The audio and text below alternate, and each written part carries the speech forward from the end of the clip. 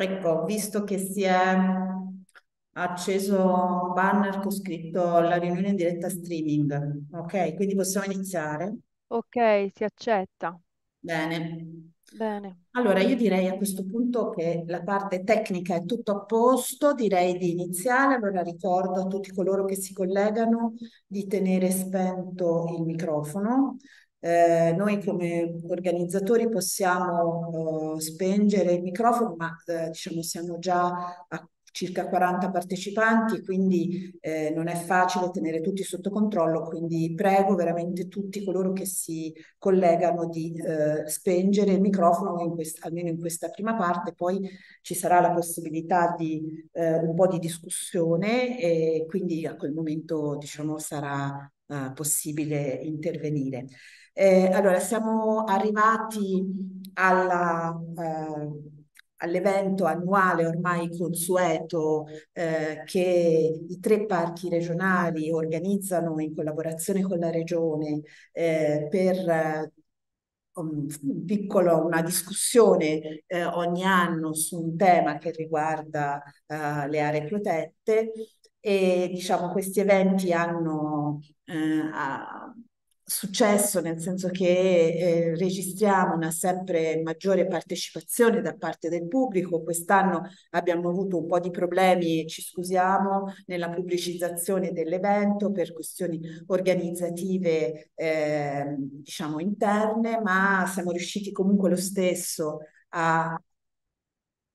Ah, scusate, ancora... Ecco siamo riusciti comunque lo stesso a organizzare. Ringrazio per questo tutti e tre i direttori e i presidenti, ovviamente, ma insomma i direttori dei, eh, dei tre parchi regionali che appunto si sono operati per l'organizzazione di questo, eh, di questo evento.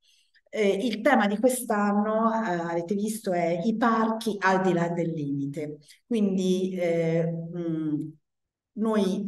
diciamo, discuteremo, ragioneremo attraverso interventi eh, che avete visto nel, nel, programma che non vi sto a ri, ri, rileggere, ragioneremo del, dell'importanza della presenza di un parco, ma non solo di un parco, di un'area protetta, anche di una riserva eh, sul territorio. Quindi l'importanza non solo all'interno della, della, della, dell'area protetta per il territorio che sta all'interno dei propri confini, ma anche per il territorio che sta fuori dai propri confini, quindi all'ambito territoriale eh, di riferimento fuori dal parco. Ehm, questo risponde un po' a un'evoluzione della, della visione di un'area protetta nel tempo da, diciamo, che partiva con la 394 come un nucleo isolato e invece mano a mano nel tempo sì, questa visione si è evoluta a area protetta come nodo di una rete che sta in relazione col territorio circostante. Eh, questo ci porterà a indagare eh, i legami, diciamo così, tra le questioni ambientali e le discipline sociali eh, ed economiche nell'ambito di un concetto, eh, un concetto più ampio che è il concetto poi dello sviluppo sostenibile che ci porta a uh, veder uh, conciliare gli aspetti ambientali, gli aspetti sociali e gli aspetti economici. Quindi eh, mh, la, uh, diciamo, la discussione eh, cercherà di, di eh, approfondire gli aspetti, appunto, eh, quindi di, cercherà di superare questa visione dell'area protetta come area da preservare rispetto a un territorio esterno genericamente definito, ma come area che è inserita uh, a pieno titolo all'interno uh, di un territorio più ampio. Eh, d'altra parte, tanto che ragioniamo anche in termini di effetti della presenza di un'area protetta sul territorio. Quindi possiamo, possiamo analizzare effetti diretti di, da servizi ecosistemici. I servizi ecosistemici sono effetti diretti della presenza dell'area, oppure ci sono tanti progetti di cooperazione tra i parchi e i territori esterni ai parchi, anche questi hanno effetti diretti sul, sul territorio. Ci sono poi anche però effetti indiretti, forse meno visibili, meno, eh, come dire, computabili, ma che comunque eh, esistono, come per esempio il fatto che il parco, l'area protetta, rappresenta un esempio di eh, buone pratiche che possono essere esportate fuori dal territorio, non solo di buone pratiche, ma di gestione eh, improntata a una a una, a una, tutela che può essere esportata anche fuori dal territorio. Poi pensiamo per esempio al volano turistico che può rappresentare un'area protetta eh, per l'intero territorio e poi il tema della qualità della vita che abbiamo scoperto e abbiamo diciamo riscoperto con, con il periodo del, del Covid, quindi l'importanza dell'area protetta per la qualità della vita del cittadino che vive anche fuori dal parco, non solo che vive all'interno del parco. E, diciamo, concludo questa breve introduzione mh, con un, uno slogan che ora va abbastanza di moda, quindi le aree protette come sistemi socio-ecologici. Il concetto del socio-ecologico è abbastanza moderno, ma insomma è interessante, spero che avremo, avremo modo poi con gli interventi di, eh, di svilupparlo un po' di più. Io quindi inizierei subito dal, dal, dal, primo intervento e lascerei la parola a Fabrizio Cinquini, l'architetto Cinquini, eh, che ci farà un suo diciamo, intervento introduttivo e poi per poi passare alle esperienze vere e proprie che sono state, eh, che sono state eh, portate avanti a partire dal Parco Nazionale. Gra- e ringrazio sempre la presenza di Giampiero che ci accompagna eh, in tutti questi nostri eventi e che diciamo ci dà una prospettiva a livello nazionale che diciamo ci aiuta moltissimo a ehm, come dire aprire lo sguardo verso eh, anche al di fuori della Toscana perché Giampiero ha un'esperienza anche eh, in Italia e poi comunque anche su fronti diciamo più, più ampi rispetto a quelli regionali a cui noi siamo abituati a, a ragionare su cui, sui quali siamo abituati a ragionare. Quindi Fabrizio, non so se ci sei. Eh... Buonasera, buongiorno. Buonasera. buongiorno. Eh, chiedevo se mi potete dare la condivisione dello schermo perché sono disabilitato alla condivisione delle, della presentazione. Tiziana, posso farlo io? Lo devo fare io? O lo fai tu? Lo fai tu?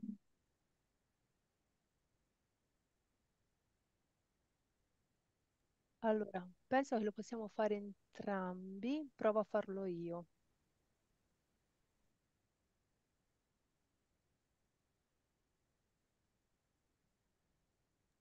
Ecco, ho messo la condivisione dello schermo. Perfetto, grazie. Eh, ditemi se vedete la presentazione, per favore. Sì, sì la vediamo. Perfetto. Perfetto. Allora, buongiorno a tutti. Intanto ringrazio per l'invito eh, a, questo, a, questo, incontro, a, questa, a, questo momento di riflessione. Per me devo dire anche un piacere e un onore eh, poter eh, fare questa relazione introduttiva e devo dire che mi è servita anche un po' a ripensare a, a, diciamo, al percorso che i parchi regionali negli anni hanno costruito, diciamo, sulla pianificazione e sul ruolo, pensando ai primi tempi in cui con Roberto Gambino ci, ci addentravamo nella pianificazione del primo parco regionale, che era della Puana, a distanza di vent'anni, tanta acqua, tanto, tanto materiale, tanto pensiero è passato, diciamo, da quelle prime esperienze e oggi in effetti può essere anche un, un, modo con cui ripensiamo al ruolo dei parchi al di là effettivamente delle rigide, diciamo, impostazioni che ci impongono le pianificazioni, diciamo, strette eh, di natura eh, urbanistica e territoriale. Ehm, eh, come giustamente ha introdotto Gilda Ruberti, in realtà appunto i parchi sono, come dire, un, un, elemento di un sistema molto più complesso con cui le regioni, lo Stato e comunque diciamo le organizzazioni chiamate al governo del territorio te tentano e provano a tutelare il territorio e a, ga a garantirne diciamo, la sua conservazione. Nel caso della Toscana questa lunga riflessione è approdata poi con una riforma legislativa che è la legge regionale 30, che è la cornice entro cui noi oggi ci muoviamo e in cui si collocano sia i parchi regionali ma più in generale il sistema delle aree protette eh, di riferimento sia per la regione e sia per, eh, diciamo, per la gestione eh, della biodiversità. Come sapete, la legge fa un salto di paradigma, quindi non, non, inquadra solo il sistema delle aree protette, ma più in generale quello che è denominato il patrimonio naturalistico ambientale regionale. e lo inquadra appunto dentro il, il, il principio generale, Cidra ha ricordato, dello sviluppo sostenibile, tant'è che nella definizione iniziale delle finalità della legge regionale il riconoscimento delle, delle, di, di, questo patrimonio, il mantenimento, la sua riproduzione, la sua sostenibilità, l'uso e la durabilità nel tempo è la principio base, diciamo, per eh, la, il perseguimento delle finalità della legge. Vedete che quindi la legge va ben oltre il tema della conservazione e della tutela, che era la base delle, della legge quadro nazionale, e quindi inquadra un nuovo modo, una nuova mo modalità di governance del sistema delle aree protette, ma più in generale della biodiversità. Tant'è che il patrimonio naturalistico ambientale, ora molte cose le sto dicendo a un uditorio che sa molto meglio di me quello che stiamo dicendo, ma ci serve anche per capire proprio questa relazione fra interno e esterno, fra area protetta e territori non protetti, ci aiuta a capire appunto che il sistema della conservazione non si focalizza solo sui parchi e sulle riserve, ma appunto ha poi tutta una serie di altri elementi riconoscitivi e formali che sono i siti della rete Natura 2000, le proposte che le regioni svolgono per, per poter incrementare il sistema della rete, le aree di collegamento ecologico e funzionale che nella nostra regione poi trovano una loro collocazione negli strumenti di pianificazione territoriale, lo vedremo tra poco, e poi appunto il progetto di rete ecologica eh, regionale che sta dentro uno strumento di pianificazione territoriale tradizionale e le zone umide di importanza regionale. La regione peraltro poi non rinuncia ad aggiungere ulteriori contenuti eh, al, al, riconoscimento della biodiversità, alla sua tutela, tant'è che rientrano negli elementi riconosciuti patrimonio naturalistico ambientale anche gli alberi monumentali, gli habitat le specie di interesse eh, generale, le specie di flora e fauna e i geositi di interesse regionale. Vedete che quindi il tema della conservazione e tutela e poi quindi della valorizzazione non riguarda solo più le aree protette, ma è appunto un sistema molto più articolato e complesso in cui la biodiversità è diffusa nei territori, nei paesaggi e negli ambienti regionali. Elemento fondamentale poi della legge è che riconosce diciamo, eh, al, al patrimonio territoriale la capacità di condizionare, di dare indicazioni a tutti gli strumenti della pianificazione, soprattutto quelli regionali, e concorre nel suo complesso proprio a essere riferimento per la programmazione regionale. Diventa quindi, come dire, un faro, un punto di riferimento al tema della biodiversità e del patrimonio che dovrebbe guidare le politiche regionali eh, in tutta l'attività eh, di programmazione. Ovviamente il sistema regionale ha una sua oggi cristallizzazione di fatta di parchi nazionali, riserve statali, parchi regionali, un parco provinciale che ancora, come dire, è un residuo della vecchia legislazione regionale che attende di, diciamo, di essere inquadrato nella nuova visione e costruisce, diciamo, già una struttura, un'armatura importantissima delle politiche di tutela e conservazione, ma che, come vedete, comunque copre una parte par parziale, ovviamente marginale, della, seppur importante e rilevante, del territorio regionale. A questa ovviamente si aggiunge eh, quella eh, delle, delle, di, di, livello comunitario che vedete peraltro si, come sappiamo si sovrappone e si interseca e tende diciamo a espandere le politiche di tutela e conservazione e quindi anche di valorizzazione a un territorio più ampio e che eh, inevitabilmente interseca le aree protette e ne, ne, ne coinvolge. Non a caso i siti della rete Natura 2000 che intersecano i parchi e le aree protette sono poi eh, gestiti in termini di strumenti di gestione e, o e di organizzazione dalle stesse, eh, dagli stessi enti parco e solo quelli esterni sono gestiti direttamente eh, dalla regione. Ehm, il, la programmazione, il traguardo con cui diciamo poi le aree, il sistema eh, delle aree protette, ma soprattutto appunto sì, le finalità di, di, gestione del patrimonio naturalistico eh, ambientale regionale vengono traguardate nella legge regionale attraverso due fondamentali strumenti di programmazione regionale, che sono il programma regionale di sviluppo, recentemente aggiornato, anzi rinnovato completamente in un traguardo che guarda il 2025 con una risoluzione eh, recente e invece un po' meno eh, recente piano eh, ambientale energetico regionale in attesa che questo venga sostituito col nuovo piano eh, che è in, è in corso di elaborazione, a cui inevitabilmente si aggiunge per le scelte strategiche che ha fatto la, Regione negli anni nel tenere legata la pianificazione territoriale a quella ambientale e paesaggistica, il piano paesaggistico regionale approvato nel 2015. Questi tre strumenti legano insieme e traguardano diciamo, le strategie che noi dovremmo osservare diciamo, e perseguire ai fini di garantire quei, quei, quei, quei traguardi che la legge ci indica. A questi vanno ovviamente eh, collegati poi gli strumenti attuativi della legge regionale, che come ben sapete molto meglio di me sono i documenti di economia e finanza regionale che tutti gli anni la regione approva e che quindi delineano gli indirizzi generali con cui la, la regione eh, promuove la propria azione politico-amministrativa anche in materia di patrimonio naturalistico ambientale e quindi di, di, di aree protette e le note di aggiornamento correlate che evidentemente poi individuano le azioni e i progetti specifici.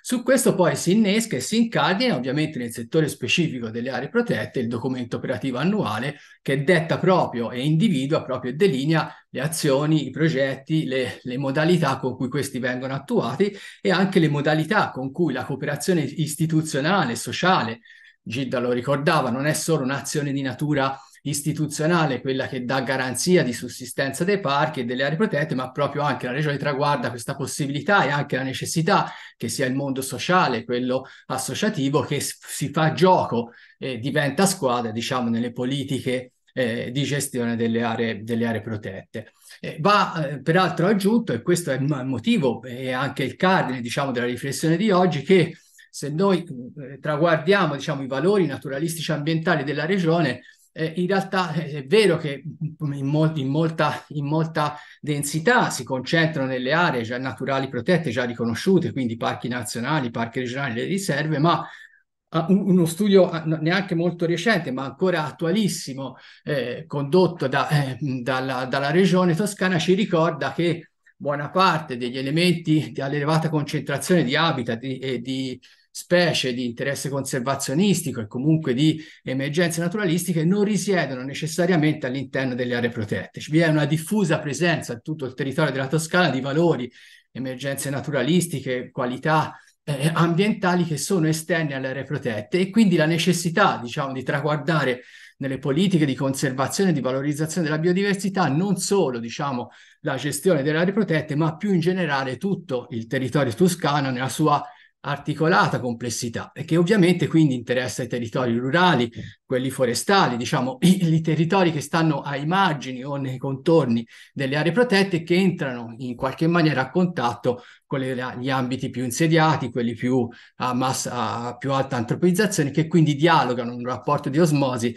fra dimensione, diciamo, della conservazione tipica delle aree protette e invece la dimensione più territoriale e paesaggistica dell'intera regione.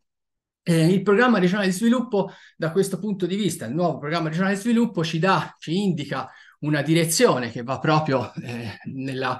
nel, nel, traguardo che Gilda ci ha, ci ha indicato e che è tratteggiato in un obiettivo specifico del programma regionale di sviluppo che è l'obiettivo 5, rendere resilienti comunità e territori e gestire in modo sostenibile le risorse naturali e valorizzando i servizi ecosistemici. Da questo punto di vista la Regione indica come strategia ovviamente quella di garantire la conservazione e la difesa della biodiversità, puntando all'ampliamento della rete dei siti Natura 2000, e delle aree protette, potenziando le attività dei parchi. Quindi vedete, individua nei parchi, come dire, un nodo essenziale non rinunciabile della sua azione di conservazione della biodiversità, ma dall'altro traguardando la possibilità di estensione delle proprie politiche proprio sul tema dei siti di Natura 2000 e del sistema più complessivo delle aree protette. E in questo caso, vedete, indica anche una strada di rafforzamento della conservazione e valorizzazione della biodiversità proprio nei territori rurali, in quelli agrari, cioè quelli che tendenzialmente e non necessariamente sono interni alle aree, alle aree protette. Da questo punto di vista, peraltro, indica anche come prospettiva, anche a favore, diciamo, di garantire una, una, una, una riduzione della vulnerabilità dei territori a favore della loro resilienza, la valorizzazione dei beni e dei servizi ecosistemici, che come sappiamo, Gilda ce l'ha ricordato, evidentemente sono erogati sicuramente dal sistema delle aree protette, ma che non nece- che necessariamente possono essere poi individuati e traguardati anche nei territori esterni. E traguardando in questo caso proprio, vedete, le aree rurali e montane, soprattutto quelle con elementi di marginalità, oggi le chiameremmo aree interne, e a cui eh, ovviamente va dato impulso per rafforzare la coesione sociale e diventare quindi in questo quadro anche un asse strategico che nella sua marginalità trova proprio la forza di garantire quei servizi che in altri territori evidentemente non possono essere espressi, quelli a massima antropizzazione o diffusione insediativa. Dall'altro occorre, la regione indica come come necessità quella di traguardare le relazioni di livello europeo e internazionale, quindi di collocarsi in una dimensione non localistica, guardare al locale ma pensando al globale e quindi diventare e essere, diciamo, attore di una regia che garantisca, diciamo, una strutturazione tale da intercettare eh, diciamo, risorse e, ehm, e, capacità propulsive che non necessariamente dipendono dalla dimensione locale. Quindi da questo punto di vista serve per contro una cooperazione anche decentrata, cioè essere sempre in contatto con la dimensione locale che, che, che può garantire appunto questo eh, sistema di relazioni fra la dimensione globale e quella locale. La regione da questo punto di vista è un nodo centrale perché è il punto di congiunzione, diciamo, fra questa dimensione locale e la possibilità di entrare in un circuito, in una dimensione di livello transnazionale europeo. E, e, tutto questo ovviamente traguardando lo sviluppo sostenibile locale che è alla base, come vedete, sia delle politiche della regionale 30, ma in generale ormai è perfa- pervasivo di tutto il contenuto della legislazione regionale. La stessa legge sul governo del territorio apre i propri principi generali attraverso lo sviluppo sostenibile. Quindi quali sono i temi rilevanti che ci vengono consegnati dal nuovo programma regionale di sviluppo? l'ampliamento della rete, quindi l'obiettivo, diciamo, attraverso diciamo, una, un ragionamento sulla rete Natura 2000 e sul sistema delle aree protette di perseguire nuovi obiettivi di estensione di quella, dell'attuale consistenza del sistema delle aree protette, il potenziamento specifico delle attività non tanto della consistenza, ma delle modalità con cui i parchi si presentano su uno scenario di tipo strategico e quindi la capacità di essere motore propulsivo dello sviluppo sostenibile e poi la conservazione della biodiversità agraria, cioè traguardare anche ai territori esterni come potenziali territori entro cui, eh, come dire, a provare a sperimentare nuove politiche di conservazione della biodiversità non necessariamente ancorate ai principi di tutela e conservazione legati strettamente alle aree protette. Quali sono gli strumenti e elementi grimaldelli con cui questo può essere conseguito e che è definito nell'obiettivo strategico regionale? La valorizzazione dei beni e servizi ecosistemici, che in questo caso le aree protette erogano inevitabilmente per la loro intrinseca, le loro intrinseche caratteristiche e per il fatto che formalmente gli sono riconosciute sia in termini istituzionali che in termini di qualità dei territori che vengono protetti, e traguardare la coesione sociale, quindi anche l'impresa istituzionale che gestisce e che dovrebbe essere a capo della, della governance di questi territori come una stra- un'azione strategica di livello regionale, in cui la regione quindi è cabina di regia di questa coesione, pensare in termini di reticolarità delle relazioni, che quindi inevitabilmente non sono istituzionali. Tutta la legge 30 è permeata di questa possibilità e capacità che la regione attraverso accordi, convenzioni e modalità eh, di natura negoziale possa estendere le modalità di gestione della biodiversità e della sua conservazione non solo attraverso l'azione istituzionale, ma coinvolgendo quello che è la comunità eh, nel suo complesso regionale attraverso l'associazionismo, le forme di cooperazione eh, eh, trans istituzionali, eccetera. E poi quindi anche una cooperazione che ha più livelli, ma soprattutto che guarda al decentramento, cioè alle, ai luoghi e alle comunità locali come eh, gli attori locali che mettono in opera le politiche e le strategie regionali, attraverso quindi uno sviluppo che è sì sostenibile ma è locale, che quindi trova poi la sua ricaduta sui territori eh, che ne esprimono eh, la rilevanza.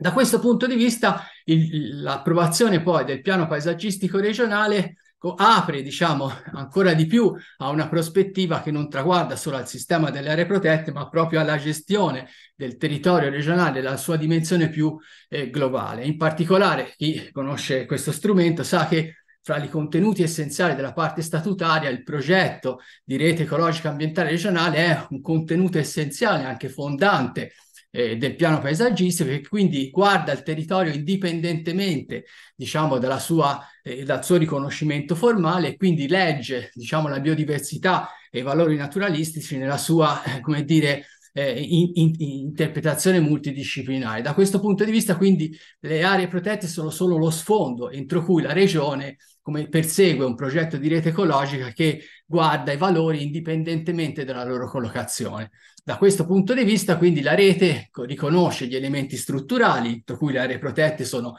dei nodi eh, primari della rete ecologica e soprattutto i parchi nazionali e regionali, ma a cui poi si aggiungono la rete degli agroecosistemi e il sistema eh, poi più complessivo degli elementi funzionali della rete ecologica che nel suo complesso garantiscono le, la, una qualità, eh, dovrebbero garantire nel lungo periodo una qualità della biodiversità regionale eh, più alta rispetto a quella che noi oggi osserviamo attraverso gli strumenti conoscitivi. Quindi da una parte gli ecosistemi noti, quelli forestali, quelli più, eh, a più alta eh, concentrazione di naturalità, ma dall'altra più, il più, più complessivo sistema degli agroecosistemi che offre diciamo, la possibilità di riconoscere una biodiversità diffusa dell'intero territorio regionale, quindi le pianure alluviali interne, i territori costieri, le matrici degli ecosistemi forestali e gli ambienti fluviali, i paesaggi rurali e in generale poi dentro anche il riconoscimento per stepping stone per parti degli habitat e degli ecosistemi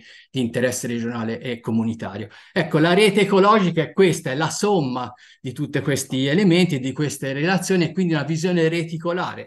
scusatemi il besticcio di parole, ma che dentro le core areas poi tesse diciamo una trama molto più complessa in cui quindi il piano regionale di sviluppo ne traguarda azioni e politiche, e politiche regionali. L'elemento fondante è il rapporto significativo di simbiosi fra piano regionale di sviluppo e piano di indirizzo territoriale con valenza di piano paesaggistico è che questi strumenti devono necessariamente, sono, è previsto che vengano declinati in tutti gli strumenti della pianificazione territoriale, quindi non solo negli strumenti eh, di pianificazione delle aree protette. Questo passaggio è essenziale, è rilevante perché noi oggi stiamo qui a discutere dei parchi, ma questa stessa discussione, seppur con profili, con livelli diversi, è aperta e, e come dire, è nell'agenda di tutte le politiche degli enti locali, a partire, diciamo, dalla pianificazione comunale, quella intercomunale, quella e quella provinciale. in questo senso quindi le aree protette non sono più sole, le politiche dei parchi non sono come dire un, un luogo privilegiato in cui si discute di biodiversità, di conservazione, ma ormai questo tema è centrale in tutte le politiche territoriali e urbanistiche anche a livello locale. Ecco, e quindi infine, eh, che quale ruolo in questa nuova dimensione che lega pianificazione territoriale e pianificazione socio-economica possono assumere e acquisire eh, i parchi. Inta- eh, proprio traguardando, io, permette, scusatemi anche la velocità, ma mi è stato detto che devo essere molto breve, diciamo, in questa introduzione, quindi mi perdonerete se alcuni passaggi anche logici siano eh, stati molto essenziali, ma mh, mm, so, so, in base a quello che abbiamo delineato, che cosa si può prefigurare per i parchi e soprattutto per i parchi eh, regionali in funzione delle politiche sia economiche e territoriali che la regione ci ha consegnato in questi anni. Intanto il fatto che è affermato in via indiscutibile un ruolo e un rango di nodo primario alla rete ecologica ai parchi, ma soprattutto anche un riconoscimento di paesaggi d'eccellenza. Non va, non va dis- eh, sottovalutata questa distinzione tra nodo primario della rete ecologica e paesaggio d'eccellenza, perché traguarda sia a politiche ambientali ma anche a politiche paesaggistiche. Il paesaggio è l'intero territorio e quindi da questo punto di vista più noi teniamo insieme politica ambientale e politiche paesaggistiche, più superiamo i limiti dell'area protetta, più troviamo un modo con cui i progetti, le azioni non guardano ai perimetri dei, rigidi, diciamo, delle forme istitutive, ma entrano in cooperazione con la pianificazione locale. Un secondo punto è il consolidamento di una capacità di resistenza e di risposta a resilienza alle pressioni antropiche esterne. I parchi, nella loro cristallizzazione attuale, nel modo con cui poi gli strumenti di pianificazione che sono in corso di formazione la miglioreranno e l'adatteranno alle nuove esigenze, sono il nodo centrale con cui viene garantita quella conservazione della biodiversità che è concentrata nelle aree protette ma che poi si diffonde in tutto il territorio regionale. Quindi la conservazione come punto base della, della, del ruolo dei parchi nel sistema regionale, ma anche la sua capacità di dimostrare le modalità con cui la conservazione diventa, può essere da riverbero, diciamo, per politiche anche esterne. il riconoscimento e per le proprie capacità e caratteristiche intrinseche di erogazione di servizi ecosistemici e quindi il fatto che i parchi da questo punto di vista possono svolgere un ruolo importante che non è solo in funzione della conservazione ma proprio in generale per la qualità della vita della comunità regionale, a cui deve essere quindi riconosciuto un servizio che vale anche per i, per i territori esterni e la potenzialità di essere eh, nodi di una rete di azioni e politiche per la valorizzazione economica e sociale. Vedremo fra poco che proprio il fatto che la legge individi i contenuti dei piani integrati dei parchi, che non sono solo quelli di pianificazione territoriale, ma che attingono anche a dimensioni di natura programmatica, diventa rilevante e strategico ai fini di una nuova forma de- di pianificazione e anche di programmazione delle aree protette. E poi eh, di, eh, vengono di riconoscimento e di elezioni di, di contesti territoriali ma anche amministrativi, pensa alle comunità di parco, alla mo- modalità con cui l'ente gestore non è un unico organo, ma sono più organi che tra loro dialogano, di individuare politiche eh, di sviluppo che evidentemente richiamano alla necessità di una coesione istituzionale. I parchi, senza una coesione di natura istituzionale con la propria comunità, Dif- avranno sempre difficoltà diciamo, a gestire le proprie politiche se non c'è una visione unitaria e coesa eh, di dove andare e con quali modelli di sviluppo. Traguardando quindi queste, questi ruoli e pensando quindi a che ruolo la pianificazione dei parchi può avere soprattutto in questa fase in cui si stanno discutendo i, i nuovi piani integrati dei parchi nella nuova modalità, eh, vengono, emergono diciamo, con significatività i, i, modi e le modalità e le tecniche con cui le politiche dei parchi entrano in gioco con un, tor- un territorio più ampio. Guardando la sezione di pianificazione, vi ricordo nella doppia strutturazione, sia statutaria che, che strategica. Questo aspetto eh, della legge peraltro è fondante perché ci consegna un piano integrato del parco che non guarda più al limite rigido fra area contigua e area interna, ma pensa al parco appunto alla dimensione di natura statutaria che legge il territorio nelle sue componenti eh, multidisciplinari, quindi non solo quelle ambientali, ma anche quelle territoriali e paesaggistiche, ci, di, ci indica la, la, possibilità e dà la possibilità al piano integrato di diventare strumento che è in primo luogo di conservazione, valorizzazione e promozione del patrimonio naturalistico ambientale, cioè il principio fondante iniziale della legge 30, ma anche come strumento autorevole, per esempio, per riconoscere le modalità con cui possono essere erogati servizi conoscitivi, interpretativi e valutativi, sistemi informativi territoriali, un, un, il ruolo del parco come, mm, come luogo entro cui la conoscenza è autorevole e, e, e, certificata e che diventa quindi strumento una costruzione di banche dati sulla biodiversità che è di livello regionale, soprattutto se messa in rete nel sistema più complessivo delle aree protette, come st- strumento di indirizzo e di orientamento per la ricognizione dei contenuti conformativi di natura paesaggistica. La conformazione paesaggistica degli strumenti di pianificazione territoriale è un tema rilevante su cui oggi tutti gli enti locali si sono chiamati a cimentarsi. I parchi attraverso i piani integrati offrono strumenti conoscitivi e interpretativi che possono essere di ausilio, di supporto e di, di orientamento per la costruzione di una progettualità di livello comunale e intercomunale e poi diventano anche spazi, ma spazi in termini di strumentali, di virtuosa e, e, e, e, virtuosa applicazione dei principi generali anche di governo del territorio, attraverso il fatto che i piani dei parchi si esprimono con una definizione, con una nomenclatura e con un dizionario che è pari, paritetico e uguale a quello degli strumenti di pianificazione territoriale, i temi del patrimonio territoriale, della tutela del territorio, del controllo delle trasformazioni, la declinazione delle invarianti strutturali diventano contenuto che può essere offerto alla pianificazione territoriale locale e quindi ne diventa anche strumento di dialogo e di valorizzazione.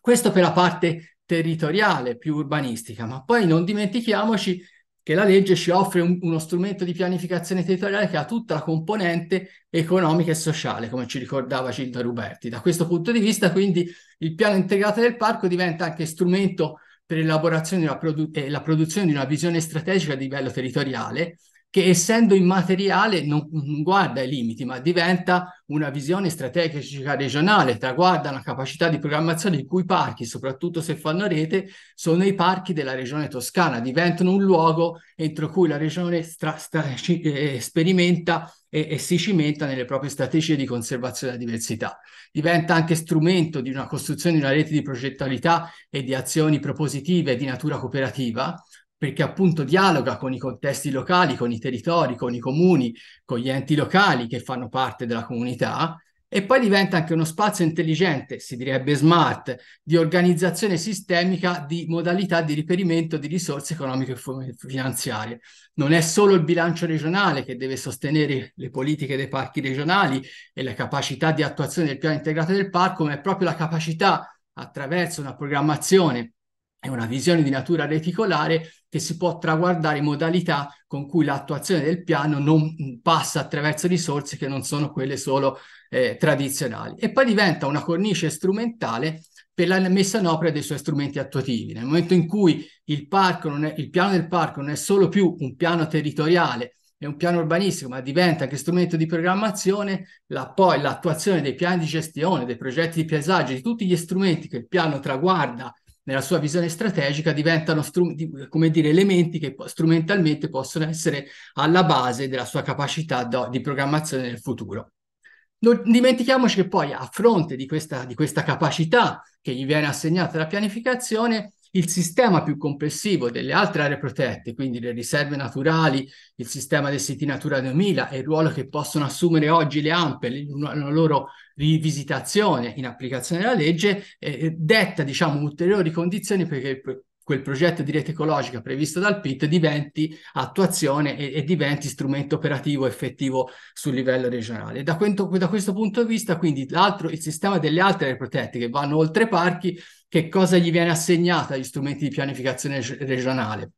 PRS e PIT-PPR. Intanto l'affermazione e, e, e, e la, la visione di un ruolo, di un rango di nodo secondario della rete ecologica come i parchi sono nodo primario, sicuramente, inevitabilmente tutto il sistema delle, delle riserve del siti Natura 2000 va a intercettare il sistema dei nodi secondari e delle stepping stone che complessivamente vanno alla costruzione della sua rete più complessiva. Individua una potenzialità aggiuntiva che è quella di ripensamento delle ampi in una visione reticolare più complessiva di livello regionale e di sua capacità anche di individuare le modalità con cui si, amplica, si amplia e si estende eh, la rete Natura 2000 di livello comunitario e quindi eh, questo eh, traguarda la possibilità di conseguire nuovi obiettivi di incremento del sistema delle aree protette così come traguardati e visti dal piano regionale di sviluppo. E poi le legge, il sistema delle, delle, delle aree secondarie, quali contesti territoriali in cui l'attivazione della forma di cooperazione istituzionale e sociale diventa l'ultimo traguardo, il punto di arrivo di, diciamo, di tutte le politiche che sono centrali dentro i parchi eh, regionali e nazionali e che diventano locali nel momento in cui trovano collocazione nella dimensione eh, più marginale. Oh, in sintesi, quindi, se guardiamo alla, a, a, diciamo, al principi, alle modalità con cui noi dovremmo tutti quanti traguardare lo sviluppo e la sostenibilità, non possiamo fare altro che pensare, come io mi piace di, qui citare una vecchia riflessione fatta da Roberto Gambino ormai tanti anni fa, tra la, il dialogo fra la necessità che la conservazione passi attraverso una propensione all'innovazione. La conservazione senza una propensione di innovazione è difficilmente perseguibile, soprattutto nei territori ad elevata complessità. Il PRS e il PIT ci invitano a questa, a questa modalità di osservazione, conservare trovando modalità innovative con cui la conservazione ci offre nuovi modelli di sviluppo. In questo quadro quindi i parchi sono chiamati a fare sistema. Io penso che sempre di più serve una politica in cui i parchi regionali siano visti come un'entità, diciamo che il, sono i parchi della regione, è la regione che individua in, questa, in queste realtà i nodi focali di una politica eh, ambientale che traguarda eh, la visione strategica contenuta nel piano regionale di sviluppo. Alle altre pro- aree protette, quindi al sistema delle riserve, dei siti de, de, della rete Natura 2000 e, e, tutto il più alto sistema, diciamo, diffuso, di costituire una rete che deve essere necessariamente coesa e solidale e per questo la riforma l'ha riportata in una dimensione, una gestione di livello regionale che dialoga quindi al pari con quella dei parchi regionali. La, la regione quindi elegge la rete a baricentro delle proprie politiche strutturali ambientali, la rete fatta dai parchi e dal sistema, e gli enti locali sono i soggetti chiamati alla messa in opera invece della rete ecologica del PIT nei territori esterni. Il PIT e il PRS ci offrono questa possibilità di, come dire, ragionare travalicando i limiti, individuando i contenuti territoriali che non guardano ai limiti ma guardano al patrimonio regionale e alla sua rete ecologica. Il piano regionale di sviluppo ci offre la possibilità di una programmazione che parla ai contesti locali, quindi agli enti locali e alla sua cooperazione. Ecco, io penso che sia questo il nodo con cui noi oggi eh, siamo chiamati a lavorare, a eh, ragionare, diciamo, sui parchi dentro una forma eh, apparentemente istituzionale, ma in cui la legge, attraverso una nuova forma dei piani integrati dei parchi, una nuova forma, diciamo, della programmazione della rete ecologica regionale, invece ci offre la possibilità eh, se, se, soprattutto se saremo capaci di costruire una dimensione cooperativa di livello istituzionale e sociale, di traguardare questa possibilità che siano poi gli strumenti comunali, intercomunali e provinciali a declinarne le politiche se, di tipo territoriali e quelle economiche attraverso diciamo, una, strategia, una strategia di lungo periodo. Mi scuso, Grazie, sono stato così veloce, ma mi è stato detto che devo stare in dieci minuti e non ci sono stato. No, esatto. Ah, no, no, ti ringraziamo comunque perché diciamo sei riuscito a concentrare, anche se un po' più del termine che ti era stato assegnato, ma de, tutto un quadro che è molto complesso e anche difficile da, da spiegare. E quindi diciamo, però è stato utile come quadro introduttivo poi alla, alla discussione e quindi agli altri interventi che seguiranno. Quindi do subito la parola al, al direttore, al presidente del parco dell'arcipelago toscano, Giampiero Saburi, eh, per il suo intervento. E niente, passiamo quindi diciamo forse un po' più dalla teoria alla pratica. Giampiero. Molta pratica. Dicevo, eh, mi sentite bene? Sì, perfetto. Hai bisogno anche tu della presentazione? Sì, sì, sì, Tiziana, puoi, puoi abilitarlo? Dovrebbe essere abilitato. Sì, allora.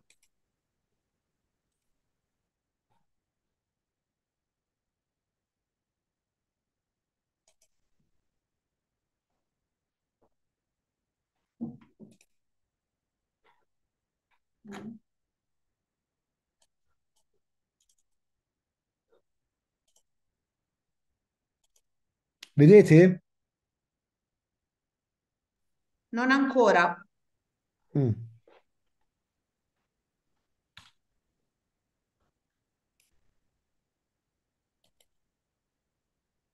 Tanto mentre Giampiero, eh, eccolo, eccolo, arriva, arriva. Perfetto, ora vediamo. Magnifico. Bene. Allora. Soprattutto questa prima immagine magnifica. Beh, per te che condividi con me certe passioni, diciamo che insomma può andare bene, no? Certo, certamente. E va bene. Allora, io parlo di una cosa molto particolare e che riguarda attività del Parco Nazionale Arcipelago Toscano, ma che è un problema abbastanza generale, come vedete. Eh, non so eh, se tutti di voi sapete che cos'è una specie aliena, eh, probabilmente la maggior parte lo sanno, che non è una specie che viene da un altro pianeta, no? Ma è una specie che eh, l'uomo l'ha introdotta al di fuori della sua distribuzione naturale. L'ha fatto o volontariamente, quindi importando alcuni animali in, in, o, o piante, insomma, in alcune zone volontariamente, o l'ha fatto anche involontariamente. Il caso classico è quello dei ratti che fin dall'epoca antica sono stati eh, distribuiti tramite le navi in quasi tutte le isole del mondo. Una cosa che forse tutti non sanno è che eh, le specie aliene sono la prima causa di estinzione delle specie animali e vegetali dal 1500 ad oggi, secondo i dati della UCN. Come vedete, il 42% delle specie che si sono estinte si sono estinte per il concorso delle specie aliene, più che la perdita di habitat, il 28%, o il sovrasfruttamento delle risorse naturali, che sono il 20%. In questo recentissimo rapporto che ha fatto la IPBES sull'impatto eh, delle eh, specie aliene invasive, ci dà alcuni dati molto aggiornati. Intanto,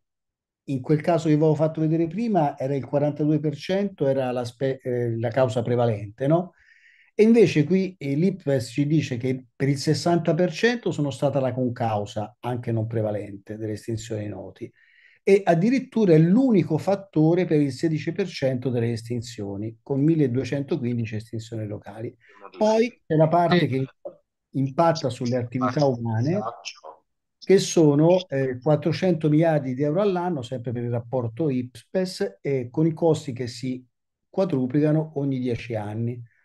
Tra eh, specie, questo è famoso Granco blu, tra le 37.000 specie aliene eh, che sono state censite, quindi spostate artificialmente dall'uomo o volontariamente o involontariamente, 3.500 sono classificate specie aliene invasive, cioè hanno un impatto sulla biodiversità, quindi circa il 10%. Ad esempio, il pomodoro, la patata eh, e, e la palma sono delle specie aliene che abbiamo nel nostro paese, ma non sono invasive, quindi non creano problemi. L'incremento della diffusione delle specie aliene è praticamente stato esponenziale dall'epoca industriale in poi, sempre secondo il rapporto IPBES. Le associazioni ambientaliste più importanti del mondo hanno, questa BirdLife International, che è praticamente quella a cui aderisce la nostra LIPO, praticamente, sin dal 2009 aveva fatto questo paper in cui diceva che una cosa importante era la veloce eradicazione delle specie aliene una volta che queste vengono eh, accertate in una determinata zona. E anche il piano strategico per la biodiversità eh, fatto dalla eh, Convenzione per la diversità biologica, la CBD, e con la UCN, l'Unione Internazionale della Natura, individuava questo come un problema e diceva che l'ereditazione delle specie alloctone viene consigliata soprattutto nelle isole, dove appunto gli impatti sulla biodiversità sono più importanti. Lo stesso concetto è stato eh, confermato dal Global Biodiversity Framework eh, del settembre 2021, dalla CBD e eh, recepito tutte queste direttive da un regolamento dell'Unione Europea per la gestione delle specie aliene, il 1143 del 2014 e dal decreto legislativo italiano del 230 del 2017. Nel, giusto un anno fa eh, ci sono stati, eh, c'è stato la COP15 a Montreal eh, sulla biodiversità, dove 193 paesi hanno eh, approvato eh, un documento che tra l'altro prevedeva il target 6 appunto anche qui di eradicare e controllare le specie esotiche invasive, soprattutto nei siti prioritari come le isole. Quindi queste sono le indicazioni internazionali.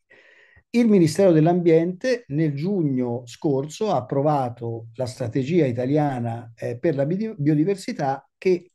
prevede ancora interventi eh, sulle specie aliene, ridurre quindi del 50% il numero delle specie delle liste rosse nazionali che sono minacciate dalle specie esotiche invasive.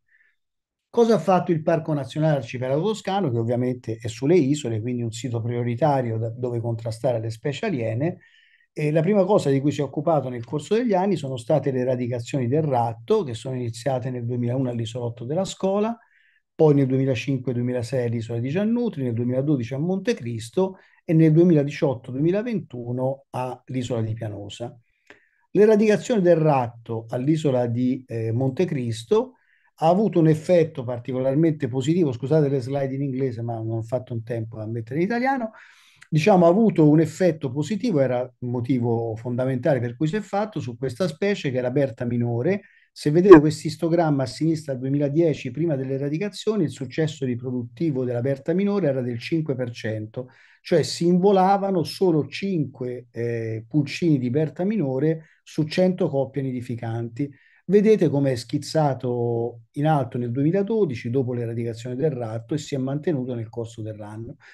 In pratica, in dieci anni sono volati eh, con il nuovo, la media del nuovo successo riproduttivo quasi 5.000 Berte contro le 248 che sarebbero volate se ci fosse stato ancora presente il ratto. E questo ha fatto sì che eh, l'isola di Montecristo oggi ospiti il 2% della popolazione mondiale della Berta minore. Ma l'effetto non è stato solo sulla berta minore, questi sono i lepidotteri, le farfalle. Prima del 2012 se ne conosceva, nonostante molti studi intensi sull'isola di Montecristo, 9, dopo eh, appunto quella data sono diventate 14. Questa specie è interessante perché era nota per Montecristo, ma dal 79 non si trovava più. Dopo l'eradicazione del ratto, nel 2014 è stata ritrovata e nel 2019 è diventata una specie comune. Ma anche eh, alcune delle specie, delle cinque specie nuove trovate per Montecristo sono molto interessanti perché sono delle specie che non hanno capacità dispersiva e quindi i ricercatori dicono che erano presenti anche prima, ma erano talmente rare, probabilmente condizionate alla presenza del ratto, che non si trovavano e eh, queste due specie specialmente con eh, DNA, gli studi fatti sul DNA mitocondriale si è visto che stavano sull'isola da molto tempo, ma evidentemente erano molto rare e al limite dell'estinzione dopo la rimozione del ratto. Altra cosa interessante è stata trovata questa lumaca, anche le, i gasteropodi sono stati molto studiati a Montecristo, ma non era mai stata trovata, che addirittura è un nuovo genere, una nuova specie, anche questa qui negli ultimi anni dopo l'eradicazione del ratto. Per l'eradicazione del ratto nel 2014 il Parco Nazionale eh, Arcipelago Toscano ha, eh, è risultato finalista in una griglia di 163 progetti di conservazione della natura eh, fatti nell'Unione Europea e appunto si è classificato finalista e quindi è arrivato tra i primi sei, poi ha vinto un altro, ma insomma era giudicato tra i primi sei. Ma il tema che vi volevo sottoporre, e se ne parlavo stamattina, diciamo eh, gli aspetti sociologici dell'eradicazione, perché insomma come avete visto le direttive internazionali, la parte scientifica ne parla molto, questo studio che è un po' datato, insomma del 2010, praticamente su Conservation Biology, che è un'importante mh, eh, rivista, eh, scusate, eh, eh, dice che eh, praticamente ricorda questa pubblicazione eh, del 2000 addirittura ancora più che dice che la probabilità del successo di un intervento di eradicazione può essere ridotta sostanzialmente se uno o poche persone si oppongono a questa eradicazione quando riguarda i mammiferi. E per questo vi volevo parlare, l'ultima cosa di cui vi parlo, del progetto Life Let's Go Giglio, che è stato molto gettonato soprattutto per un tema che tra poco arrivo a parlare, e che è un progetto LIFE che si basa sulla conservazione eh, di queste cinque specie che voi vedete eh, molto importanti,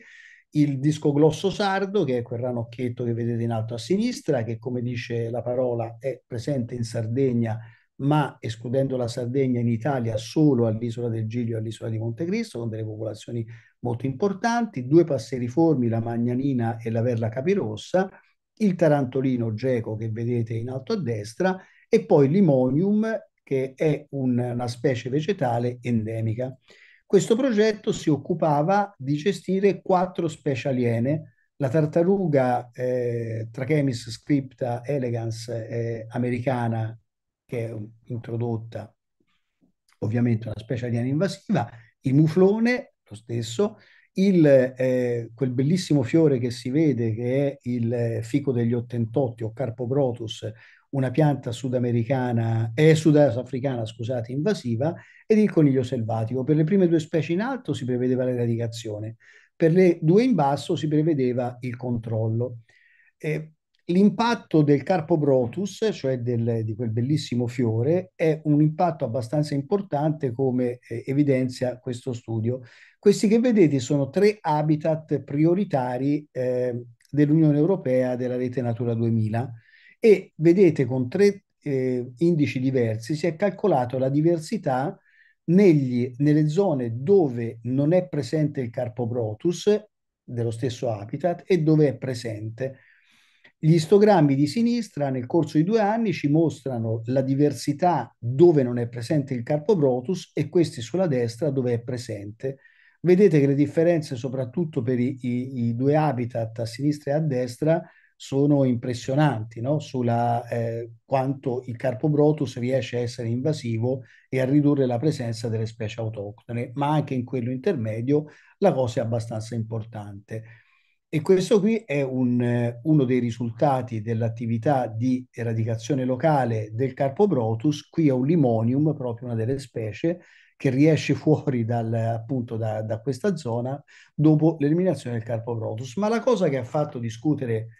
più di tutti è stata l'eradicazione del muflone, nonostante questa qui sia una cosa ampiamente supportata da ISPRA con il quale appunto c'è un protocollo di gestione. E soprattutto, e qui c'è la parte sociale, eh, che avrete sicuramente visto, molte uscite dei media, no? Eh, morti mufloni, mufloni non sono invasivi, eh, 1,6 milioni di euro per abbattere i mufloni, in realtà era tutto il progetto LIFE, eccetera, danni irrisori negli ultimi vent'anni, qui tra l'altro c'è stato, come vedete, una, eh, diciamo un pronunciamento autorevole, Carlo Cottarelli, che si è pronunciato sui mufloni dicendo che si spende 1,6 milioni, che non è vero perché è tutto il progetto, ma insomma per danni dei mufloni 1200 euro in 19 anni. Allora, purtroppo mi dispiace dirlo, ma Carlo Cottarelli in questo caso ha fatto la figura che farei io se parlassi di economia, insomma, no? ha parlato di biologia. Ovviamente i danni all'agricoltura non c'entrano nulla con l'eradicazione del muflone, i, i danni, l'eradicazione del muflone come quella della tartaruga americana e come tutte quelle delle specie aliene attengono ai danni che si fanno alla biodiversità, quello lì è in più.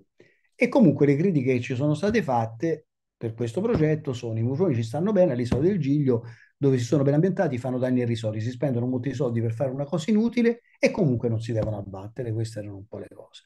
Allora, sul primo punto, fanno dei danni irrisori. Dal punto di vista normativo, c'è un decreto ministeriale 2015 e poi la legge, e la legge 157, che ci dice che in Sardegna il muflone è considerato specie parautoctona e protetta. Perché parautoctona? Perché in Sardegna è in presente da 6.000 anni, è stato importato,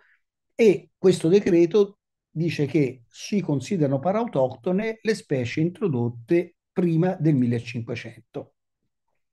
Nel resto d'Italia invece il muflone è una specie cacciabile e il decreto 2015 dice che è da controllare e eradicare se ci si riesce, soprattutto nelle isole, quindi lo dice la legge. Dal punto di vista scientifico, sul fatto che fanno pochi danni, c'è questo studio del 2020 che eh, ha esaminato i danni e gli impatti sulla biodiversità che fanno le specie aliene eh, ungulate introdotte. E come vedete sono state messe in un ordine di classifica. E guardate un po' chi c'è al primo posto, proprio il muflone, in un po' di ideale rispetto a queste 27 specie che sono state testate. Al primo posto questi ricercatori come impatto sulla biodiversità hanno messo il muflone, al secondo il dromedario, che è stato introdotto in Australia, e al terzo il cervo di Java, che è stato introdotto da altre parti. Altre specie forse più note, sulla biodiversità parlo, hanno, secondo questo studio, un impatto meno importante del muflone, la pecora al quinto posto, la capra all'ottavo, il cervo al dodicesimo, il danio al diciassettesimo e il cinghiale al venticinquesimo. Ovviamente si sta parlando della biodiversità, non dei danni, ad esempio, all'agricoltura, il cinghiale schizzerebbe sicuramente in alto. Molti del mondo scientifico hanno appoggiato nostra, eh, il nostro progetto, il professor Folco Giusti, il professor Marco Bologna, il professor Luigi Boitani che sono tutti noti, il professor Alessandro Chiarucci, presidente della Società Botanica Italiana, Piero Genovesi di ISPRA, ma soprattutto la cosa più importante, Jean Paul Rodriguez, che è il chair della Survival eh, eh Species Commission della UCN, la più importante, che riunisce 5.000 eh, studiosi. Quando si dice si spendono molti soldi per fare una cosa inutile, guardate quali sono i costi di alcune eradicazioni fatte in giro per il mondo. L'isola di Macquarie, il governo australiano ha speso 16,6 milioni di euro per eradicare il coniglio selvatico, il ratto nero, il topo domestico, oppure all'isola di Awatax lo Stato dell'Alaska ne ha spesi 3,6, ma poi ce ne sono anche tanti altri. Comunque non si devono abbattere. Allora, all'inizio del progetto erano stimati 50-100 mufloni, Pensate che nei dieci anni precedenti all'isola del Giglio erano stati abbattuti 97 mufloni tra caccia e controllo. E pensate che ogni anno in Toscana si possono abbattere 400 mufloni a caccia perché è una specie cacciabile. Quindi questo è il rapporto tra i potenziali mufloni che potevano essere abbattuti in, eh, all'isola del Giglio in tre anni la durata del progetto e quelli che vengono abbattuti sempre in tre anni in Toscana. Questo è il rapporto. A un certo punto è uscito uno studio, che anche questo è molto fatto, che, che diceva, questo qui pubblicato su una rivista dove si pubblica a pagamento, lo dico solo per informazione, voglio dire, che diceva che i mufloni di Agiglio hanno un, un, DNA ancestrale perduto, cioè dicevano che era un DNA che stava in Sardegna, poi in Sardegna si è perso e invece lì sopravvive ancora. Noi abbiamo chiesto immediatamente un parere all'ISPRA che dobbiamo fare con questo studio e ISPRA ci ha risposto che il recente lavoro nella richiesta non introduca elementi tali da modificare la valutazione già espressa in diverse occasioni circa l'importanza di completare l'eradicazione dei mufloni all'isola del Giglio. Ma perché questo?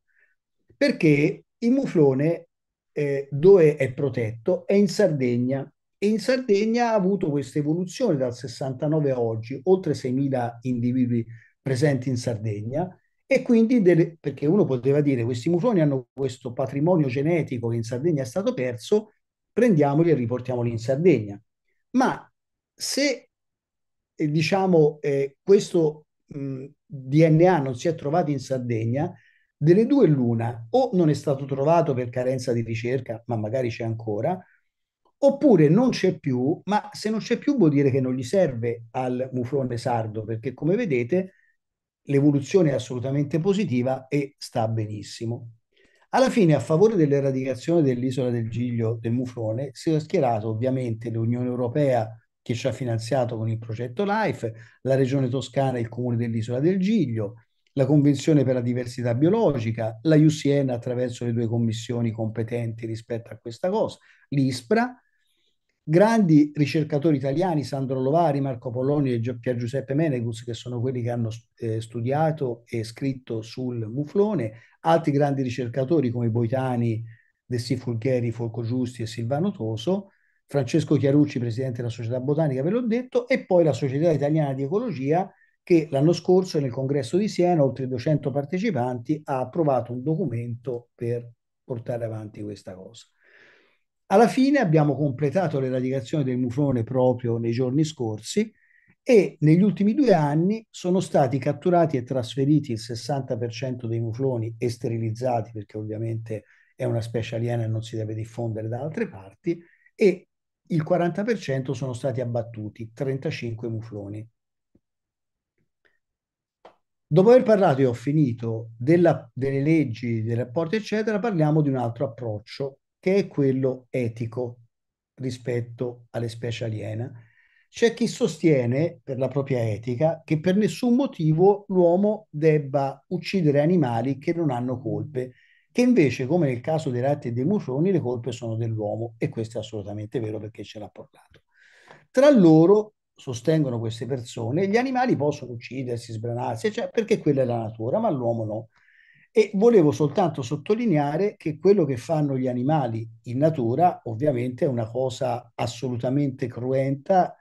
e terribile, no? Diciamo sugli animali, come vedete i lupi che inseguono un cervo, il leone su una zebra, eh, eh, lupi appunto che sbranano il cervo, la iena che salta al collo del, di, un, di un antilope e poi vedete ancora le, la tigre piuttosto il coccodrillo che prende una cosa o i serpenti eh, come in questo caso un boia e un'anaconda che eh, soffocano la loro preda e poi se la mangiano, una cosa terribile, o l'orso polare che eh, preda una foca. Questa è la natura. Ma questa non è la natura. Questo è lo scoiattolo grigio americano che l'uomo ha portato in Italia, più grosso e più aggressivo del nostro piccolo scoiattolo europeo, quello diciamo che vedete lì, e questa non è la natura. Questo qui è l'uomo che ha importato un animale e che, diciamo, impatta su un altro animale. Questo filmato ve lo salto perché è un po' lungo e non ve lo faccio vedere, però vi faccio vedere soltanto la fine. E questo qui è un ratto che preda un giovane di Berta minore, di Berta maggiore, scusate, e che se lo porta via. E questo qui è un, eh, praticamente un eh, risultato di una cosa che ha fatto l'uomo, ci ha portato il ratto e questo è il risultato. Allora,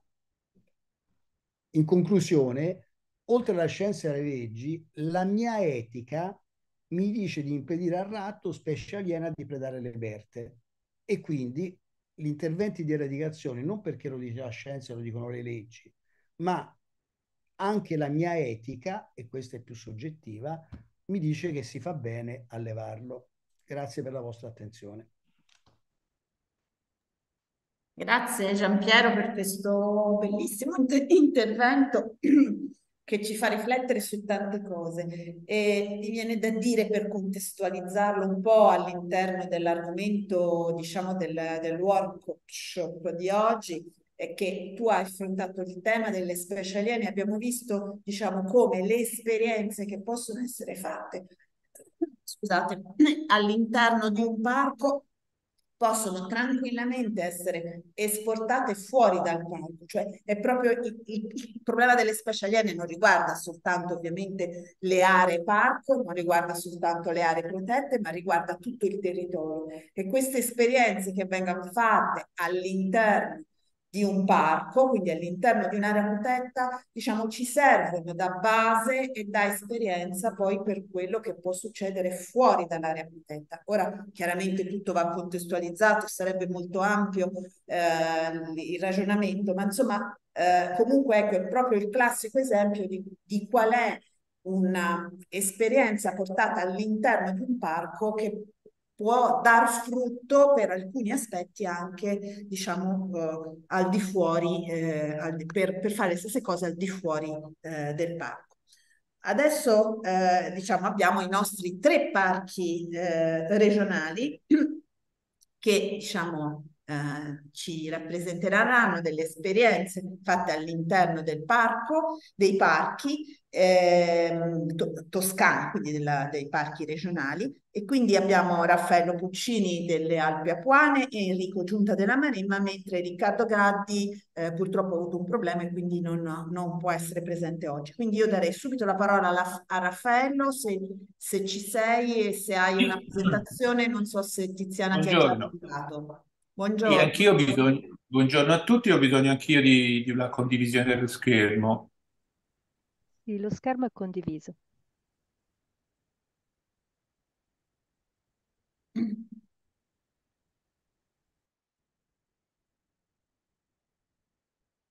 Eh.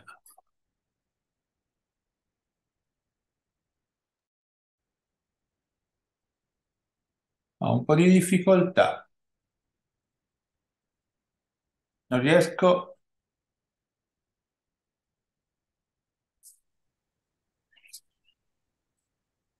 Forse, ho, forse è un problema col mio computer. Oh, uh, um. eh, no, non ti ha ancora preso la condivisione. Dai, vai. Uh, eh, mm, prova a fare desktop 1. Anzi, no, aspetta, prova di condividi. Ah, sì, sì, sì, sì. Eh, manca... Abbiate pazienza. Se... No, no, no, tranquillo. Allora, mentre Raffaello prova a fare la sua, a condividere lo schermo, eh, mi viene in mente, Ah, sì, eh, prendi anche mi viene in mente una cosa legata anche all'intervento di prima di Giampiero sul tema Ah, dell'etica. Anche questo è un tema. aspetta, aspetta, prova un attimo a toglierlo, rimetterlo, perché mi sa, eh, vedi, aspetta, che non esce la prova. Chiudi l'audio, Raffaello. Ecco, allora dicevo appunto in, in relazione al tema dell'etica. È molto interessante, il tema dell'etica lo si può rapportare eh, diciamo a tante questioni, no? Alle specie aliene prima di tutto, quindi il rapporto dell'uomo con la natura, il rapporto diretto o indiretto dell'uomo della natura con la natura. E, però insomma anche questo è un tema, diciamo che se volete eh, non riguarda soltanto l'area protetta in sé, ma riguarda eh, poi tutto il territorio. E quindi anche questa è un'esperienza di cui far tesoro per, eh, se volete, per il ragionamento legato alle eh, politiche eh, ambientali a tutto tondo su tutto il territorio. Noi adesso abbiamo il grosso problema, sapete, eh, in, in, Italia, in tutta Italia, della peste suina africana, quindi eh, abbiamo la necessità di aumentare il contenimento, per esempio, dei cinghiali eh, su tutto il territorio proprio per prevenire questo grosso problema che, che, sapete che esiste anche un commissario, quindi insomma che, ecco, anche questo è un tema, diciamo che se volete riguarda, può diciamo, coinvolgere eh, un, un, aspetto etico, quindi il tema dell'etica è, è importante. Un'altra cosa appunto che mi veniva in mente sentendo l'intervento di Giampiero è eh, legato alla mutevolezza della natura, cioè la natura non è una cosa statica, la natura è una cosa eh, diciamo, che cambia nel tempo. Quindi mettendo insieme i temi, diciamo, di cinquini legati al concetto eh, delle politiche ambientali e delle politiche paesaggistiche, eh, forse bisognerebbe ripensare in qualche modo oppure bisognerebbe riflettere un pochino di più sul tema delle politiche paesaggistiche, cioè di che cos'è il paesaggio, e diciamo di quanto possiamo conciliare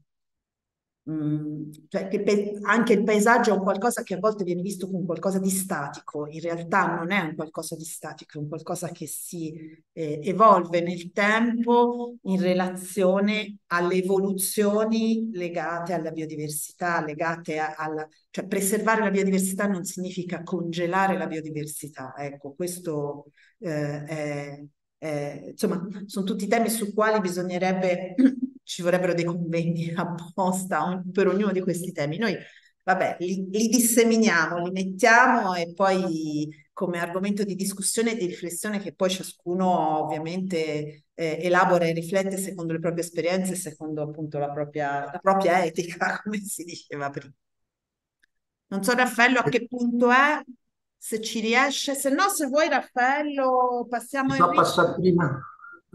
passiamo prima a, a, a, Enrico che noi gli spostiamo il computer e poi riparla dopo. Ok, allora facciamo questo change. Enrico, sei pronto sì, tu? Sì, sì, sì, provo a fare la condivisione. Spero eh. di... Va bene. Vado, eh.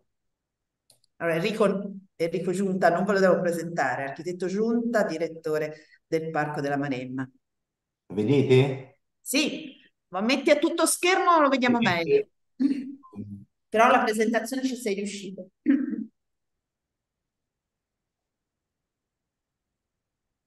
Ecco. Vedete tutti bene? Riuscite a vederlo? Perfetto adesso. Benissimo. Dunque, ehm, io porto l'esperienza del Parco della Maremma, eh, quindi sfruttando questo titolo Parchi al di là, delle, al di là del limite e riprendendo un pochino tutto ciò che è stato detto finora, soprattutto declinandolo da un punto di vista di pianificazione e programmazione secondo quello che prevedono eh, la, la, le norme della Regione Toscana e gli strumenti che sono stati prima eh, ben illustrati dal, dall'architetto Cinquini. E quindi la nostra esperienza pianificatoria, poi legata comunque al eh, piano integrato del parco, che eh, ha provato proprio a eh, contestualizzarsi eh, non limitandosi in qualche modo a quelli che sono poi i confini eh, fisici e formali eh, previsti per legge, ma inquadrando un territorio ben più vasto che eh, abbia eh, una serie di collegamenti di, di, vicinanza proprio da un punto di vista eh, degli aspetti conservazionistici ambientali, quindi un sistema ambientale un pochino più complesso e più vasto, così come eh, ehm, il sistema eh, eh, agricolo ehm, e soprattutto un'agricoltura sostenibile che si declina anche poi in un'economia sostenibile più generale e collegata poi anche a un eh, discorso di turismo. Questa foto che peraltro vedete è proprio un, un, un'ampia zona eh, che eh, eh, è collegata tra il parco e ehm, eh, la città di Grosseto, quindi eh, è una zona poi prevalentemente agricola che è attraversata dal, eh, dal fiume Ombrone e quindi anche eh, degli aspetti e delle caratteristiche di forte valenza proprio legata all'asta del fiume Ombrone eh, di tipo eh, conservazionistico e quindi un, abbiamo poi ipotizzato, e magari ve lo illustrerò meglio, proprio un'ipotesi di eh, in qualche modo ampliare quella che è proprio effettivamente eh, la superficie del parco, soprattutto dell'area protetta, riportandola a un rapporto anche più diretto con eh, la città. Qui faccio solo una uh, uh, proprio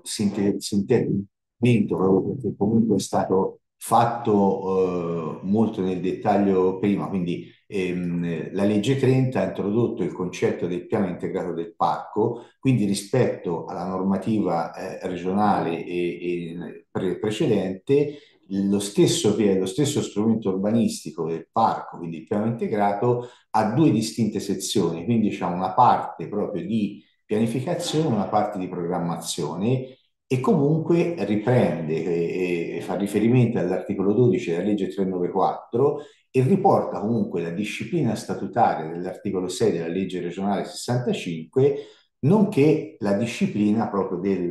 dell'articolo 95 eh, del, della stessa legge e quindi di fatto è un vero e proprio piano operativo che opera sul territorio di propria competenza, quindi all'interno dell'area protetta.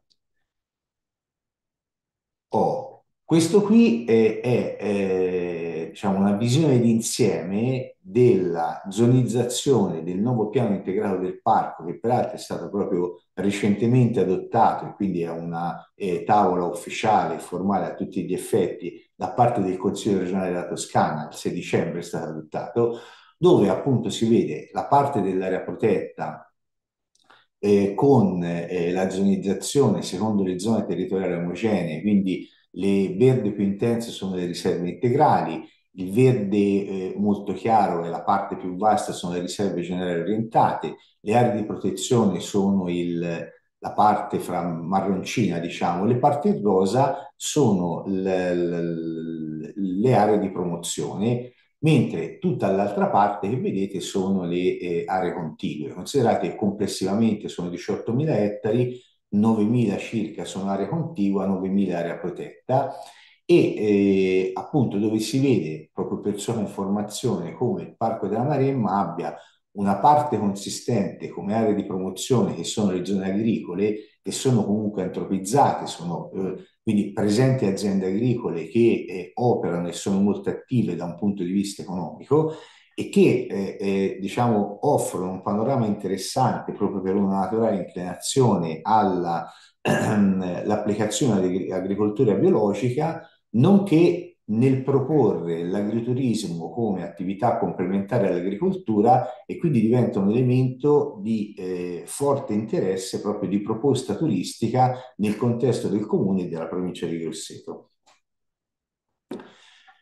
Questo è eh, il, naturalmente, oltre alla parte pianificatoria, abbiamo detto una parte programmatoria e all'interno proprio del, ehm, della proposta del, a questo punto del piano integrato del parco, nel, nella parte programmatoria è stato fatto un quadro strategico eh, territoriale complessivo del Parco della Maremma e quindi abbiamo provato a inserire quindi proprio nel, ragionamento che è alla base di questo uh, workshop, e, e, di contestualizzare il parco in un ambito ben più vasto che come vedete va da eh, Monte Argentario, la Laguna d'Orbetella, arrivando oltre a Grosseto e toccando la costa, arrivando verso Castione della Pescaia,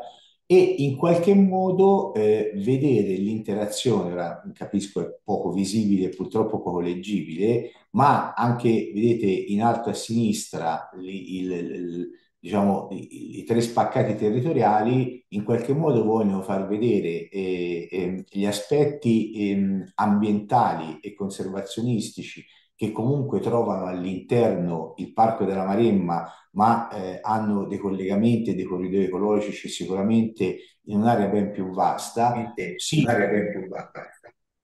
Così come per quanto riguarda la parte agricola, e la, la terza abbiamo cercato poi di collegare proprio gli aspetti più di eh, collegamento turistico e infrastrutturale eh, che sempre vedono centrale il, eh, il parco. Da questo proprio sempre eh, per quanto riguarda la parte di eh, programmatica abbiamo provato a impostare proprio un master plan del Parco regionale della Maremma dove naturalmente è una tavola rappresentativa che dà proprio un'indicazione di quello che eh, eh, può essere proprio il, sono gli aspetti eh, in, salienti per la fruizione e per la valorizzazione eh, turistico-economica, quindi eh, sono riportate nella prodotte dell'area contigua, sono visualizzabili, vedete, le eh, praticamente porte di accesso al parco, quindi pensare un sistema complessivo eh, di eh, eh fruibilità controllata e di accesso al territorio del parco. E le, diciamo la, la ferrovia e l'Aurelia che in qualche modo diventano un elemento che non eh, eh, diciamo cercare di non dividere le due parti dell'area protetta e dell'area contigua ma grazie anche alle infrastrutture lente, quindi la futura anche ciclopista tirrenica, eh, può rappresentare quindi un, un, elemento di collegamento longitudinale di tutta l'area del parco che consente di proporre nuovi sistemi di fruizione sicuramente compatibili con l'area protetta.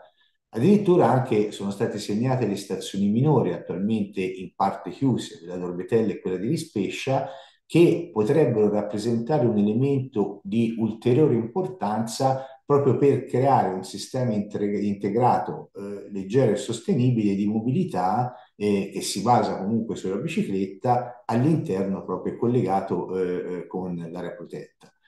Allo stesso modo poi è stato identificato un asse di penetrazione prevalente per gli aspetti turistici eh, all'interno del Parco della Maremma che porta al mare e quindi passando per Spergolaia, quindi la sede operativa di ente terre regionali, quindi della tenuta di Alberese, arrivando fino al mare dove ci sono i vari nodi, eh, sia da un punto di vista turistico, quindi il centro integrato di servizi, ma anche i punti legati comunque alla ricerca scientifica, allo scoglietto, quindi alle foresterie per i ricercatori. E quindi un elemento complesso che eh, non si limita alla sola pianificazione, ma dà un'interpretazione, in qualche modo una visione di fruizione complessiva da un punto di vista anche economico proprio di tutto il territorio dell'area protetta.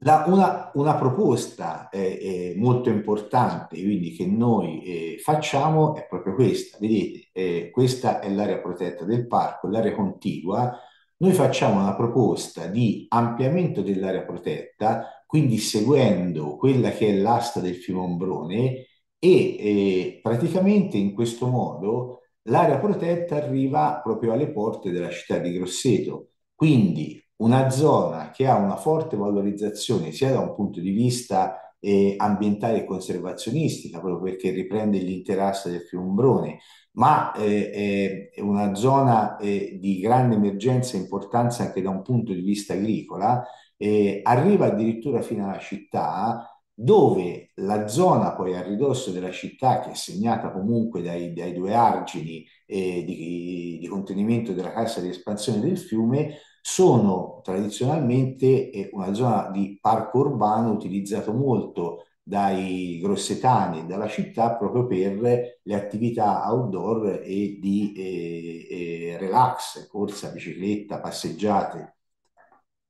cercando di eh, quantificare un pochino più nel dettaglio, qui vedete proprio un, un particolare della, della zona di, di ampliamento dell'area protetta, che vedete proprio la vicinanza con la città di Grosseto, praticamente viene trasformata una parte di area contigua direttamente in area protetta, quindi abbiamo un'estensione di eh, area protetta di 1734 ettari. Come vi dicevo, rispetto ai circa 9.000 attuali avremo un incremento del 20%, quindi abbiamo effettivamente un notevole eh, ampliamento di quello che è l'area protetta del parco, ma che eh, diciamo come proposta è fortemente comunque condivisa, naturalmente con la regione, ma con gli stakeholders e soprattutto con l'amministrazione comunale di Grosseto, proprio per l'importanza che questo collegamento rappresenta da un punto di vista di fruizione e di valorizzazione del territorio nel suo complesso. Quindi, vedete, l'ipotesi di ampliamento comprende tutte le aree ubicate lungo il fiume Ombrone e, e sono in continuità ambientale, paesaggistica, geomorfologica, idrogeologica e idraulica con quelle che sono già comprese nell'area protetta del piano integrato del parco. Quindi di fatto io eh, riporto ehm, una serie di elementi emergenti dando proprio una continuità eh, a tutto un, un sistema ambientale che comunque è assolutamente omogeneo. Quindi di fatto questo ampliamento diventa una cerniera funzionale a tutti gli effetti con la città ma con il parco urbano che è configurato nel territorio comunale grossetano che è rappresentato comunque nei redigenti eh, strumenti di pianificazione fatti proprio dal, dal comune di Grosseto. Quindi di fatto c'è una compenetrazione e eh, una eh, unità di intenti tra una eh, precisa volontà di pianificazione del parco nella valorizzazione e tutela del proprio territorio con eh, le direttive eh, direttamente della, della, del comune di Grosseto proprio per quell'ambito. Peraltro il comune di Grosseto ha eh, recentemente proprio bandito un concorso di progettazione per realizzare una greenway, cioè una, una, una via di accesso verde che di fatto collega proprio il cuore della città, quindi il, la, la, piazza del Duomo all'interno delle mura Medice, eh, attraverso un percorso che eh, eh, arriva direttamente all'argine e quindi arriverebbe direttamente non solo nel parco urbano ma all'interno proprio del, del parco della Maremma. Un percorso peraltro molto breve e quindi di fatto c'è una, mm, eh, eh, non solo avvicin- avvicinamento ma veramente una compenetrazione veramente forte tra la città stessa e comunque il parco che eh, eh, ad essa si collega effettivamente. Quindi il Parco della Maremma, si, eh, appunto, come vi dicevo, si avvicina alla città e con lei si interconnette valorizzando un vasto ambito molto utilizzato e apprezzato dai cittadini per lo svago, il relax e lo sport. E questo, vedete, quello che vi dicevo, questo fa parte dello studio dell'ipotesi eh, di Greenway che è stata fatta dal comune di Grosseto, quindi per intendersi qua eh, ci sono le mura medice, parte la Greenway e praticamente con un, eh, un percorso relativamente breve, si può fare addirittura a piedi, naturalmente in bicicletta, arriva praticamente al... Eh, eh, all'argine del fiume Ombrone e quindi entrerebbe all'interno del parco. Quindi questa qui teoricamente, questa che vedete sullo sfondo sulle mura Medice, è il punto di partenza della Greenway e questo sarebbe il punto di arrivo, questa è la salita dell'argine, quindi addirittura ci sarebbe un asse infrastrutturale leggero all'interno della città che comunque collega eh, e interconnette la città con il parco e quindi consente una fruizione diretta portando il parco eh, collegato direttamente con la città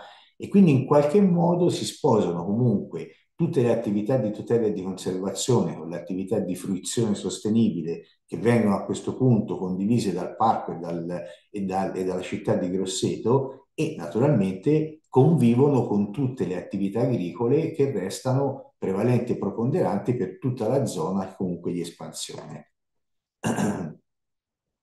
Io vi ho messo eh, qualche foto anche per capire più o meno qual è il contesto ambientale che noi eh, eh, andiamo a lavorare. Questa è un'azienda agricola importante, si chiama Volta di Sacco, siamo a ridosso del fiume Ombrone, vedete quindi è proprio un paesaggio peraltro molto curato e bello, ma che è fortemente vocato all'attività agricola eh, e, e, come tale viene utilizzato e per lo più sono tutte aziende che comunque se, eh, sono convertite al biologico, quindi particolarmente eh, affini e inserite in un contesto di pensiero che spinge sempre il parco proprio a eh, valorizzare i propri prodotti agricoli anche con il marchio di qualità che comunque noi abbiamo, eh, che noi abbiamo appunto.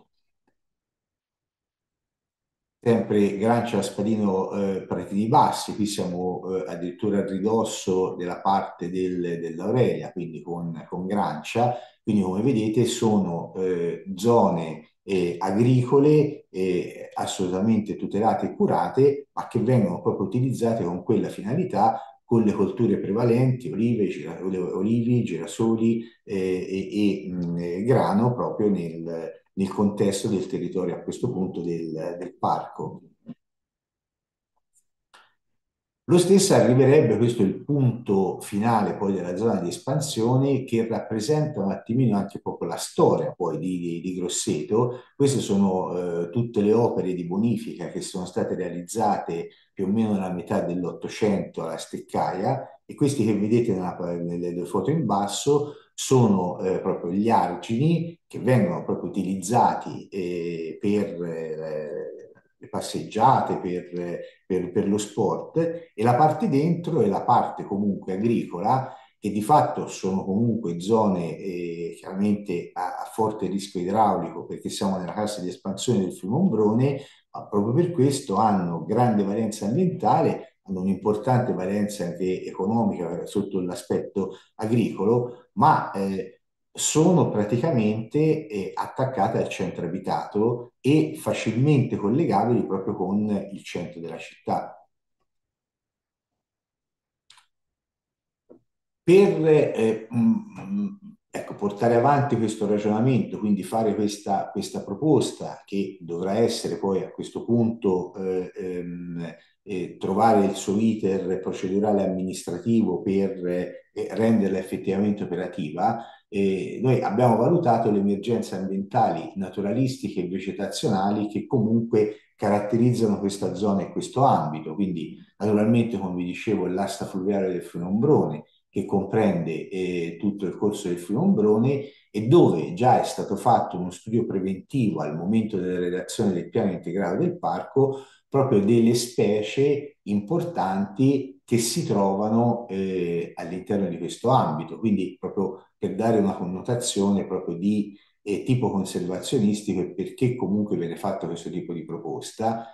Abbiamo potuto vedere le aree agricole di pertinenza dell'Ombrone, sono tutte le aree inondabili naturali del fiume Ombrone, quindi sono tutti terreni pianeggianti con granulometria della dimensione di argiglie e limi e eh, naturalmente è, è, da preservare nelle condizioni morfologiche attuali. Quindi comunque sono zone eh, che hanno una loro caratteristica forte anche paesaggistica di riconoscimento e di identificazione del nostro territorio, ma che hanno anche una forte valenza di tipo agricolo perché fortemente produttive e utilizzate con questa finalità.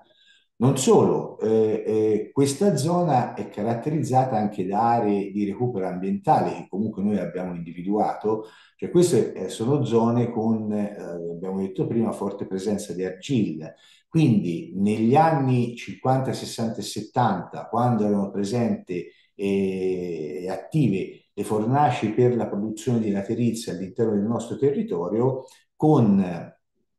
queste cave veniva preso il materiale eh, proprio per la realizzazione dei laterizi, cave che poi sono state dismesse negli anni 70, quindi di fatto si sono rinatura rinaturalizzate come, come, come laghetti, quindi la presenza del parco può portare addirittura anche a una progettazione più definita e puntuale di recupero ambientale, quindi facendolo diventare delle aree eh, che ehm, erano state comunque utilizzate con una finalità produttiva, eh, rinaturalizzandole e ancora di più proprio rendendole eh, proponendole a servizio proprio di una fruizione controllata per eh, eh la stessa città.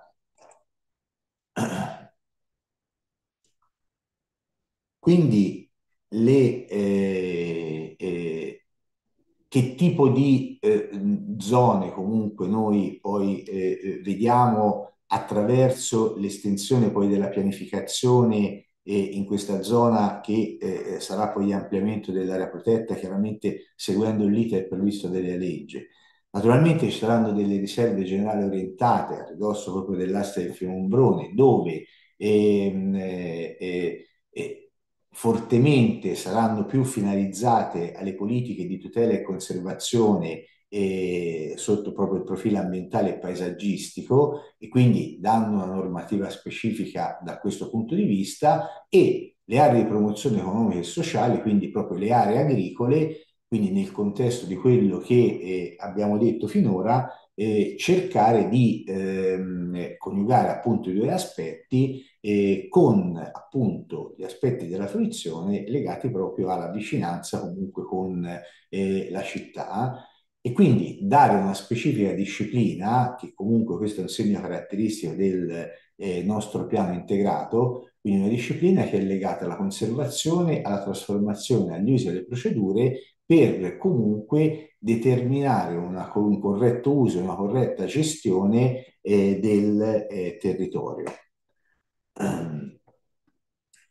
questo eh, per finire, queste sono foto eh, fatte con, riprese fatte con il drone, dove complessivamente dall'alto eh, si ha una visione di questo ambito e di, e di eh, queste zone, e dove effettivamente, come vedete, ecco, eh, eh, la bellezza di queste zone agricole, la cura di questo territorio, addirittura la presenza anche di testimonianze storiche dell'ingegneria idraulica o comunque della, ehm, eh, eh, diciamo dell'utilizzo da, dal punto di vista agricolo fatto del territorio complessivamente, ma ecco, in qualche modo effettivamente noi eh, eh, abbiamo cercato di uscire non solo dal contesto di quelli che sono i confini del parco, contestualizzandolo in un sistema ambientale, agricolo e infrastrutturale più grande, ma in accordo comunque con eh, la comunità del parco,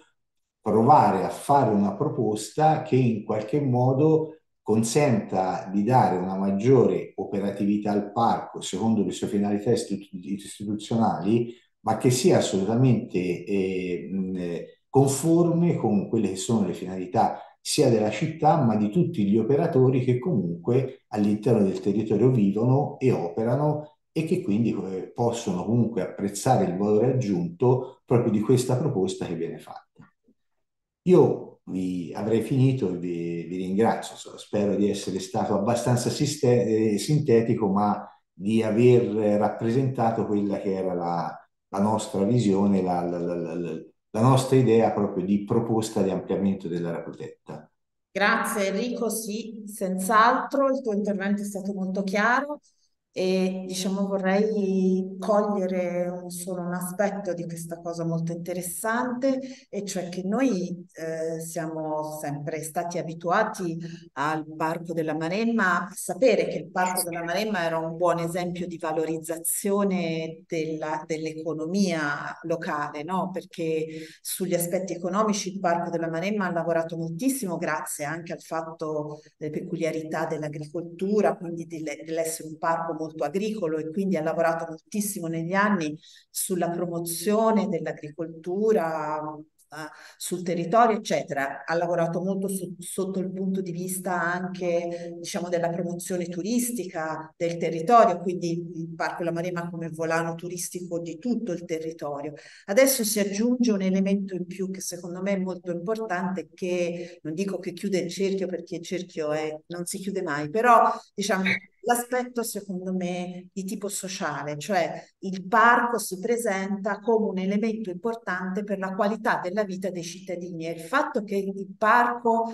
riesca ad avere il consenso sul territorio per estendersi fino a, a lambire la città, significa che questo è un elemento che è sentito dai, dai cittadini. Mettiamoci dentro sicuramente il periodo del Covid che ci ha reso tutti più sensibili a questa cosa, però effettivamente questo, questo, questo estendersi fino a lambire la città, che è il posto diciamo dove ci sono più cittadini, dove, cittadini, dove la popolazione è, è quasi l'antitesi, se volete, la città è quasi l'antitesi di un parco, no? Quindi il fatto che il parco si stenda fino a lì significa che, diciamo, riesce a valorizzare il suo ruolo in termini sociali, in termini di qualità della vita, anche l'attenzione chiaramente ai collegamenti del parco con la città, quindi alla, alla alla fruizione del parco è una cosa, una cosa importante. Quindi diciamo aspetti economici, sociali e ambientali eh, eh, cercano di fondersi all'interno di questa, di questa cosa. Vorrei però anche dire che diciamo, questo esercizio del, del Parco della Maremma è un esercizio mh, mm, che non è imposto dall'alto, quindi non è una, non è una una,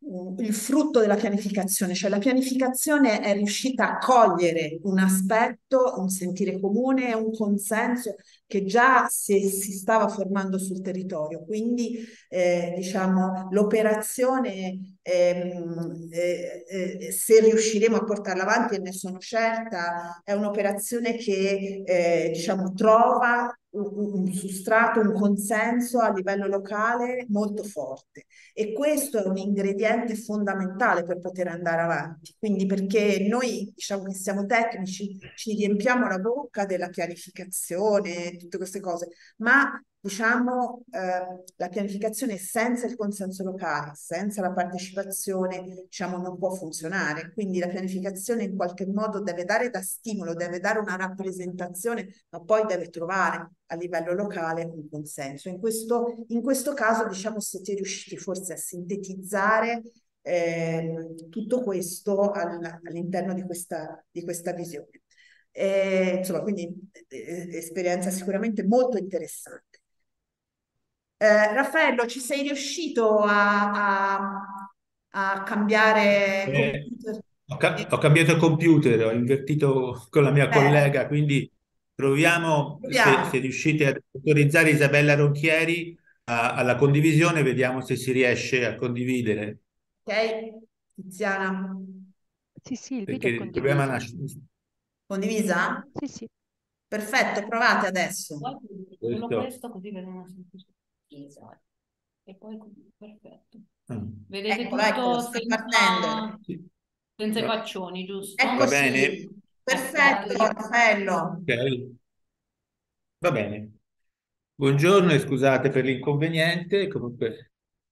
Allora, io vi propongo una, un approfondimento, una riflessione sulla, sul limite, il limite inteso proprio come lo intendevano i romani, limes, tra eh, un confine tra cosa sta, una cosa che sta dentro e una cosa che sta fuori. Ovviamente noi nei nostri, nei nostri parchi non, non, non costruiamo eh, questo tipo di limiti, ma facciamo semplicemente dei segni sulle cartografie.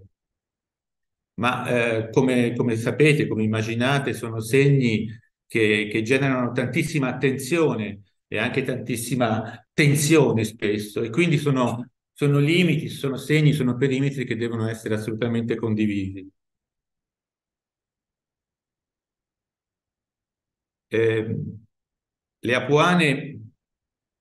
eh, lo sapete, sono uh, un, un, luogo, un territorio carico di geodiversità e biodiversità per la posizione geografica, per lo sviluppo altitudinale, per l'esposizione, per tutta una serie di, di fattori. Eh, il popolamento animale e vegetale su questo territorio è estremamente sviluppato e diversificato e questa elevata biodiversità si è sviluppata in un contesto territoriale eh, altrettan di altrettanta elevata geodiversità. Eh, quindi queste caratteristiche di, di, di, grande sviluppo della biodiversità e della geodiversità caratterizzano, nostre, caratterizzano la nostra eh, area protetta. La caratterizzano a tal punto che eh, le rocce, possiamo dire, eh, sintetizzando molto, che sono una delle ragioni principali della bellezza e della notorietà e della fortuna delle nostre Alpi apuane, eh, sia che le si guardi come forme geologiche eh, che arricchiscono il suolo e il sottosuolo delle nostre montagne, ma sia anche che le si guardi come materiali lapidei ornamentali estratti da secoli in queste montagne. Qui vedete eh, sei esempi delle forme più conosciute, più caratteristiche delle apuane, forme di origine glaciale o di origine erosiva o di origine e poi vedete un'immagine di Michelangelo alle cave, ovviamente dipinta in anni successivi. Questa peculiarità eh, relativa alle rocce che costituiscono appunto la notorietà e la fortuna delle Apuane eh, ci impone e ci, e, ci, e ci, costringe a individuare eh, un limite esterno, come in tutte le aree protette, un limite esterno che distingue l'area protetta interna dall'area, dall'area esterna costruita, antropizzata, trasformata, ma poi noi in particolare, forse siamo uno dei pochi casi eh, nel panorama nazionale, eh, siamo costretti anche a individuare un limite interno, un limite interno che distingue l'area naturale protetta da, da qualcosa che sta all'interno e che sta, è completamente circondato eh, da, eh, da, da, da, area ad altissima naturalità, come vedete appunto questa è un'immagine della, della, cava Focolaccia eh, circondata e immersa in un ambiente di altissima naturalità. Quindi eh, è un limite interno eh, che eh, è altrettanto importante come quello esterno. Questo è uno schema semplificato del piano per il parco vige attualmente vigente. In verde vedete l'area eh, protetta e, in rosa l'area contigua e, e, vedete appunto come eh, il perimetro, il limes romano sia estremamente articolato eh, per diverse ragioni. Eh, una è mh, perché quello generale, diciamo, che individua globalmente e complessivamente l'area protetta è estremamente articolato, perché il nostro è un parco di montagna e quindi è eh, scontato eh, che il limite eh, segue in parte l'orografia e le curve di livello. Però poi ci sono anche altre caratteristiche, altre peculiarità che, lo, eh, che, che ne aumentano l'articolazione.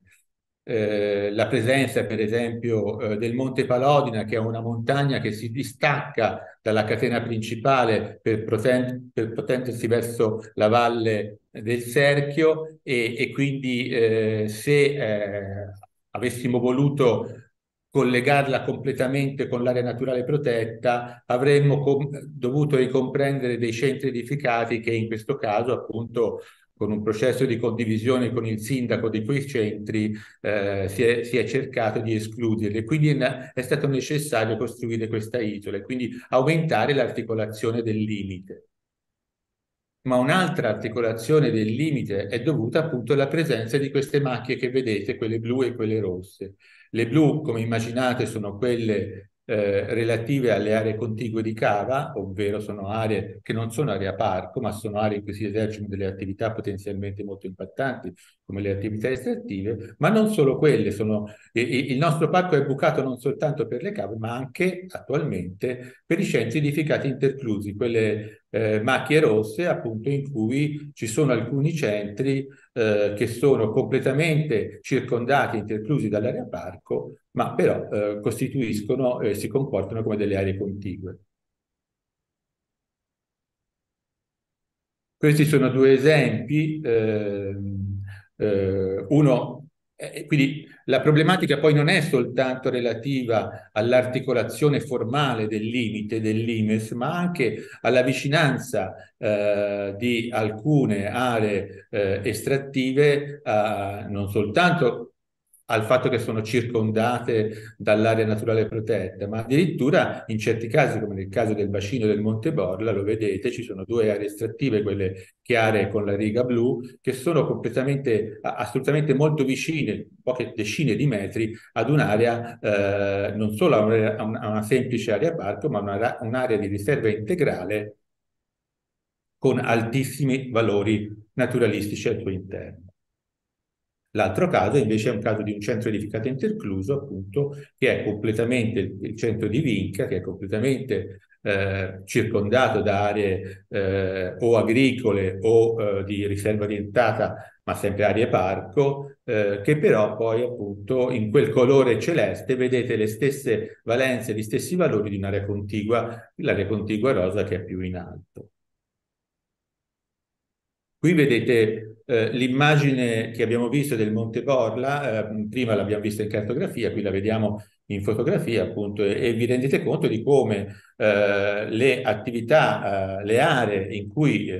eh, si, si, sono, c'è la possibilità di esercitare attività estrattive con altissimi impatti ambientali, sono assolutamente contigue, vicinissime eh, ad aree eh, ad altissimo pregio ambientale, come appunto la riserva integrale del Monte Borla, in cui eh, vive questo eh, bellissimo fiordaliso, oppure eh, emergenze di altro tipo come le capanne del Sagro che stanno sul versante a sinistra, non si vede il Monte Sagro in questa foto, ma insomma intuite il versante che sta salendo a sinistra, dove c'è appunto questo bellissimo villaggio pastorale che è altrettanto meritevole di tutela.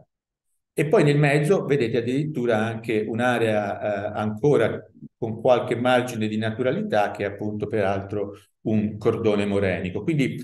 ci rendiamo conto di come anche le aree eh, estrattive al loro interno abbiano delle, delle grandi valenze eh, naturalistiche. Questa è un'area estrattiva, per esempio, eh, l'area di tre fiumi, abbastanza ampia. Non so se riuscite a riconoscere il limite tratteggiato in rosso, che è il limite attuale che individua l'area estrattiva, mentre il limite in blu è quello che viene proposto nella nuova pianificazione. Eh, appunto, eh, è un'area in cui eh, ormai sono decine di anni, per quanto rimanga ancora estrattiva, sono decine di anni in cui non viene esercitata alcuna attività estrattiva e, per, e per questo, anche per questo motivo, appunto, eh, il quadro conoscitivo del, del piano eh, integrato che, stiamo, che, abbiamo elaborato eh, vi individua delle aree ad altissimo valore eh, naturalistico. Come vedete quasi tutta eh, l'area estrattiva è identificata con un colore verde scuro o verde più chiaro e mm,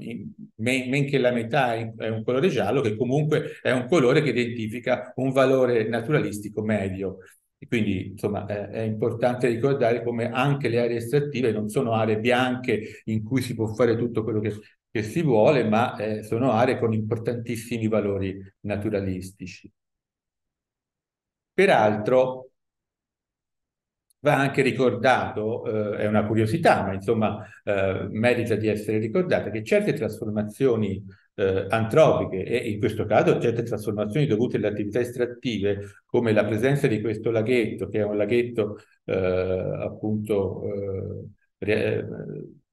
realizzato dopo l'abbandono eh, di, di un'attività estrattiva eh, ormai decennale, in un'area eh, come le Alpi Apuane, abbondantemente calcica, in cui è difficilissimo trovare delle aree umide, appunto, eh, certe trasformazioni possono permettere la, la, creazione di ambienti umidi no, idonei a, ad accogliere eh, alcune specie particolari. In questo caso, appunto, il laghetto è stato eh, invaso, tra virgolette, da una colonia di centinaia di tritoni eh, che poi non questo eh, laghetto specifico ma uno accanto c'è stata anche tutta una vicenda di eh, ricorso al TAR da parte della ditta che ricorreva contro un diniego del parco che voleva appunto salvaguardare eh, questa colonia e poi alla fine eh, i tritoni come si legge anche si è letto qualche anno fa nella stampa locale hanno vinto il ricorso al TAR e quindi continuano a, a, a vivere e a riprodursi in, questi, in questo laghetto. Quindi l'importanza anche di ricordare che all'interno delle aree estrattive ci sono anche queste opportunità che vanno comunque eh, segnalate. Eh, ma prima abbiamo visto un'area in cui, estrattiva in cui ormai era decenni che non si eh, esercitava nessuna attività di tipo di escavazione, ma anche nelle aree in cui, come questa del Solco d'Equi, in cui c'è la presenza, eh, lo vedete in alto, nell'immagine in alto, di cave assolutamente attive, peraltro anche con dei volumi estrattivi piuttosto consistenti, come la, la cava Cattani lisciata, eh, vedete che all'interno del perimetro rosso ci sono appunto delle abbondanti aree, consistenti aree eh, ad elevata naturalità, in questo caso aree boscate e non solo. E è per questo poi che la proposta del piano, eh, del, del, piano integrato eh, ha circoscritto eh, molto, molto, in maniera molto consistente eh, le aree estrattive laddove effettivamente eh, il territorio è ormai trasformato e ha riguadagnato all'area parco tutte quelle aree che eh, erano comunque caratterizzate da un'alta eh, naturalità. queste sono due carte eh, del, del piano eh, integrato che, che, abbiamo proposto, questo è il quadro propositivo, eh, la, la, disciplina statutaria. Ovviamente è l'indagine eh, di tutto il patrimonio territoriale e la presenza delle invarianti strutturali eh, sia dal punto di vista idrogeomorfologico, ecosistemico, antropico e agroforestale. E ovviamente come immaginate eh, non è che si limita a, a, a fare queste indagini, a individuare queste invarianti soltanto nelle aree naturali, ma ovviamente eh, anche va oltre, va eh, all'interno delle aree estrattive e ci testimonia che anche all'interno di queste aree estrattive ci sono tantissimi eh, invarianti strutturali da tutelare e da, da conservare. Questa è invece il quadro propositivo la disciplina operativa, quella, eh, la carta in cui si fa l'articolazione eh, del, delle aree prote dell'area protetta nelle diverse zone a diverso grado di protezione e anche qui appunto si è cercato di ehm,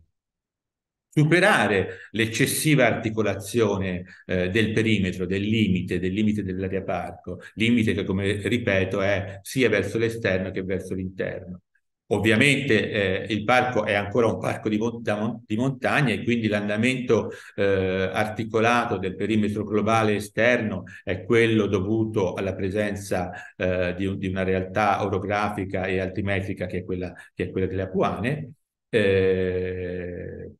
Però eh, sono state eliminate alcune delle aree estrattive e soprattutto sono stati eliminati i buchi eh, delle, dei centri edificati interclusi. Ora poi vedremo come abbiamo fatto ad eliminarli. Quindi le aree estrattive sulla base del quadro conoscitivo, sulla base del quadro valutativo, nonché sulla base anche della struttura territoriale delle, della presenza delle relative invarianti strutturali, eh, sono state ridotte di circa 6 e quindi appunto abbiamo eliminato eh, e sono state riguadagnate, anche se sarà una, un, un, un, riguadagnare eh, in, in, fasi successive, non immediate, ma insomma sono state, verranno riguadagnate eh, all'area all naturale protetta ma uno degli aspetti ancora più interessanti è quella di aver riguadagnato eh, i centri edificati interclusi. Eh, Isola Santa, Fornovolasco, eh, piccoli centri del comune di Pescaglia, soprattutto Vinca, eh, Campo Cecina e Resceto, sono finalmente eh, rientrati all'interno dell'area parco. È stata un'operazione non facile, ma un, è stata concertata e condivisa con i sindaci di questi di questi piccoli centri eh, che finalmente hanno capito che non avendo, eh, no, non prevedendo il nuovo piano ulteriori normative aggiuntive rispetto a quelle dei piani urbanistici comunali, ma dando invece al contrario delle opportunità di accedere a finanziamenti da parte delle comunità locali, hanno accettato appunto finalmente, cosa che prima fino ad ora non era stata possibile, eh, hanno accettato di far entrare questi, centri, questi piccoli centri all'interno dell'area parco. Ovviamente sono stati inseriti all'interno dell'area di promozione, la cosiddetta area D, che poi vedremo è stata articolata in tre sottozone, nella D a carattere insediativo, nell'area D a carattere fruitivo e nell'area D a carattere estrattivo. Vedremo poi mh, nello specifico di, di che cosa si tratta. Questo è il caso emblematico di Vinca, appunto in cui eh, finalmente il centro eh, edificato e anche le aree contermini al centro edificato che sono caratterizzate da eh, terrazzamenti, da coltivazioni agricole eh, di pregio, da aree boscate e da aree da castagneti da frutto e quant'altro, gestiti dal, dai residenti e portati avanti dai residenti eh, stessi del, eh, de, del, paese, appunto finalmente eh, sono eh, rientrano all'interno dell'area parco e non poteva essere diversamente in quanto eh, peraltro eh, insieme al centro edificato queste coltivazioni agricole mh, con termini ai centri costituiscono una parte importantissima e caratterizzante del paesaggio delle Alpi Apuane.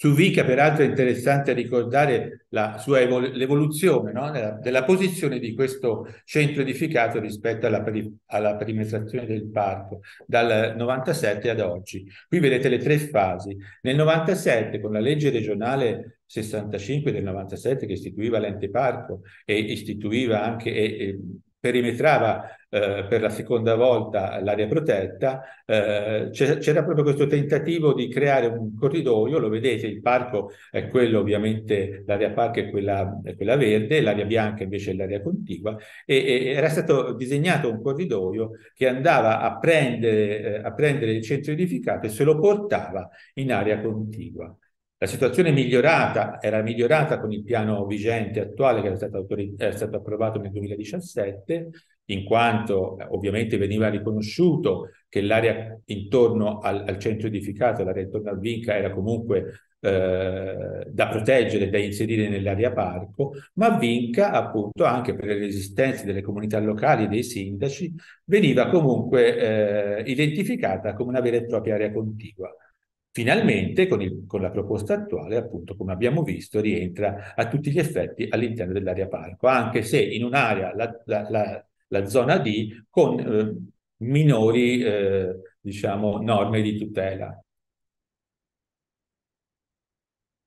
Questo è un altro caso, un po' diverso da, da Vinca, in quanto Vinca è un centro grosso eh, in cui vivono anche centinaia di persone. Qui siamo in piccoli eh, agglomerati del comune di Pescaglia, Buscine e Mezzane, lo vedete dalla foto aerea, sono piccole, piccole eh, piccoli gruppi di case che però insomma hanno eh, nella loro vicinanza queste aree aperte ancora in cui si esercita eh, un'agricoltura eh, legata appunto ai residenti e, e quindi eh, c'è un, un è importante valorizzare questo tipo di, di, di, aree aperte che come vedete dalla foto aerea si vede chiarissimamente mh, stanno per essere, rischiano di essere eh, inglobate nella, nel, nell'indistinto accrescimento del bosco. Quindi ecco, è un'operazione in cui si cerca di, banali- di, di evitare, di contrastare la banalizzazione del mosaico ambientale, che sapete il mosaico ambientale più è variegato e più garantisce la biodiversità, ma questa, uh, questo mosaico e, que- la, e, la, diversificazione del mosaico è sempre costantemente, eh, diciamo, eh, messa in discussione dall'avanzamento indiscriminato del bosco. Qui ancora ci sono altri esempi della eh, zona D eh, eh, di promozione eh, con altre caratteristiche. Eh, siamo a Campo Cecina, eh, è un'area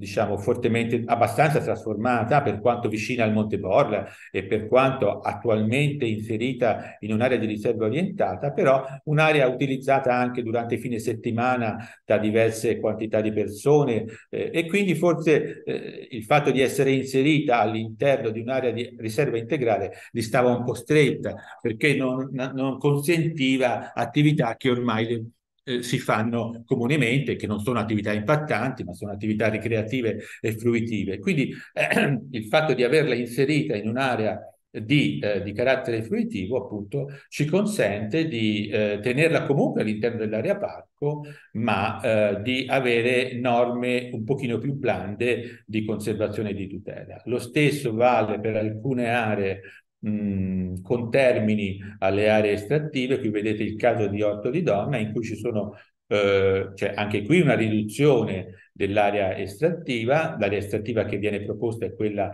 eh, colorata in giallo ocra, eh, sono due in realtà, all'interno di queste due aree che continuano ad essere estrattive per quanto ridotte rispetto alla, alla, alla superficie attuale, rimane un'area eh, che non ha interesse dal punto di vista attrattivo e che viene quindi identificata come un'area eh, di promozione a carattere estrattivo, cioè un'area dedicata a, ad impianti e a servizi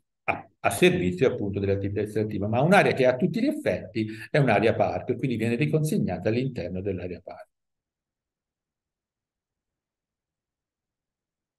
Bene, io ho... Ah, ecco, mi dimenticavo di ricordare che questa operazione di portare all'interno eh, della, dell'area parco eh, i centri edificati interclusi eh, comporta che il parco finalmente diventerà un parco abitato. Attualmente i residenti all'interno del parco sono poche centinaia, eh, con l'operazione di, di, di, di, individuare i centri edificati interclusi come aree di promozione a carattere insediativo, si, si arriverà sicuramente a qualche migliaio, quindi finalmente un parco abitato. Eh, in sostanza, per concludere, eh, la nuova proposta aumenta del 10% l'area protetta eh, e non è poco, eh, questo ampliare questo limite di, eh, de, de, de, del 10% da 19.900 a 21.900 ettari è un, un, obiettivo che secondo noi eh, è, è, un, è, un, buon obiettivo. Aumenta tantissimo la, la, la, presenza di aree di promozione che prima erano quasi inesistenti, erano circa, eh, non arrivavano a 8 ettari, ora arrivano quasi a 400 ettari e soprattutto riduce del 56% le aree di contigue di cava, riconsegnando quel, quel,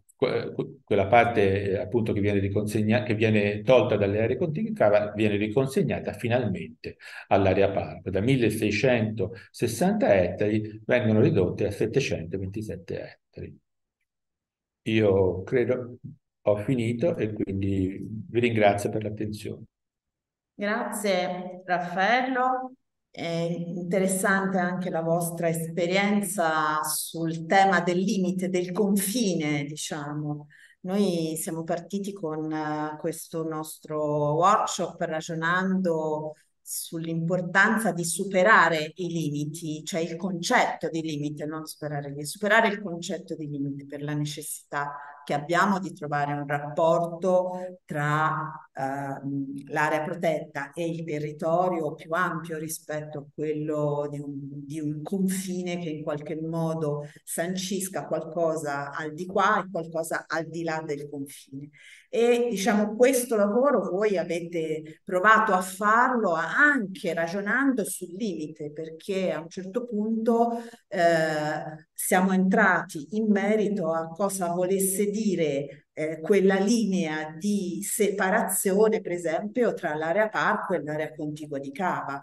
E poi forse ragionando su questo limite abbiamo scoperto che non esiste tanto un mondo di qua e un mondo di là, ma esiste un qualcosa che in qualche modo deve trovare correlazione tra questi due mondi. Quindi queste riflessioni, questo esercizio che voi avete fatto e che state continuando a fare, perché ricordo che appunto noi adesso, eh, Raffaello vi ha presentato una proposta che il parco ha fatto alla, alla regione, la regione, la giunta ha fatto su, ha presentato il consiglio, al consiglio ancora non è stata discussa in consiglio per l'adozione, quindi avrà la sua adozione e poi dopo ci sarà tutta la fase di osservazioni mh, mm, e quindi diciamo mh, mm, il risultato, diciamo lo strumento poi che sarà vigente ancora è da, da, da vedere quale sarà, questa è la base di partenza. Comunque questa riflessione è molto interessante, ripeto, perché diciamo dobbiamo veramente riflettere su questo tema, cioè i confini non sono muri invalicabili, eh, i confini, i, quei segni rossi che noi mettiamo sulla carta per definire eh, la zona parco, la zona riserva e la zona fuori della riserva non devono essere, non sono muri invalicabili che segnano due mondi che sono completamente separati. È questo che diciamo credo che dovremo, eh, che dovremo superare. Va bene, allora a questo punto io direi non credo che ci sia Riccardo, vero? Perché io ora non ho visto tutti i partecipanti, ma Riccardo Gaddi aveva anticipato che non, non sarebbe potuto intervenire. Quindi eh, non so se so che già è arrivato il presidente Bani, quindi non so se il presidente Bani vuole anticipare qualcosa oppure se passiamo magari alla alla fase diciamo di discussione aperta, interventi e poi quindi magari il Presidente interviene dopo nella fase di conclusione. Non so se c'è il Presidente Bani.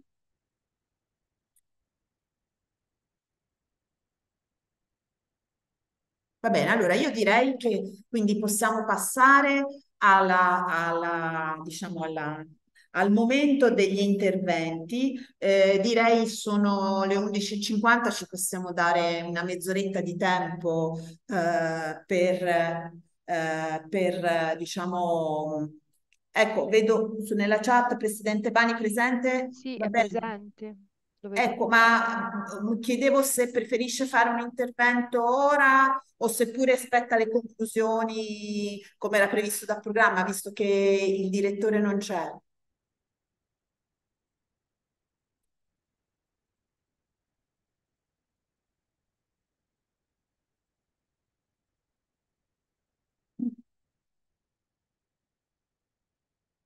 Allora, intanto qualche piccola, qualche piccola, come dire, mh, mm,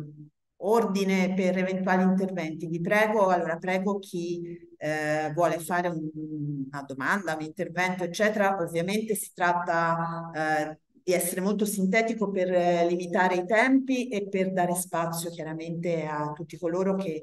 che vogliono intervenire. Eh, poi prego ovviamente di eh, utilizzare la, uh, non so se c'è l'alzamano, qua sì probabilmente c'è questo sistema l'alzamano, quindi di utilizzare l'alzamano in modo che possiamo vedere eh, diciamo chi chiede di intervenire e dargli la parola in modo da non sovrapporsi. Abbiate la pazienza se diciamo noi vi daremo la parola non proprio in ordine perché non è facile eh, vedere tutto insieme, tutta la lista dei, siamo 53 partecipanti, quindi non siamo pochi, per cui non è facile tutta la lista. E quindi direi di eh, organizzarci, organizzarci così una mezz'oretta di tempo prima delle conclusioni.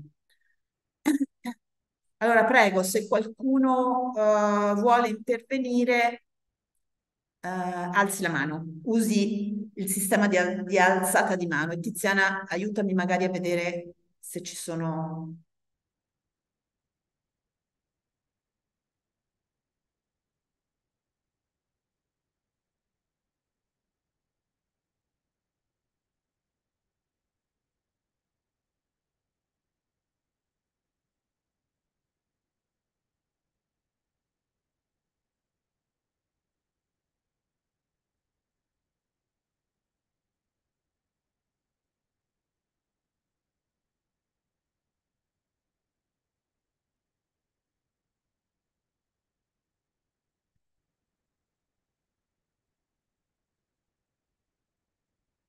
temi effettivamente sono abbastanza complessi, eh, perché quindi non è, non è facile riuscire, riuscire a,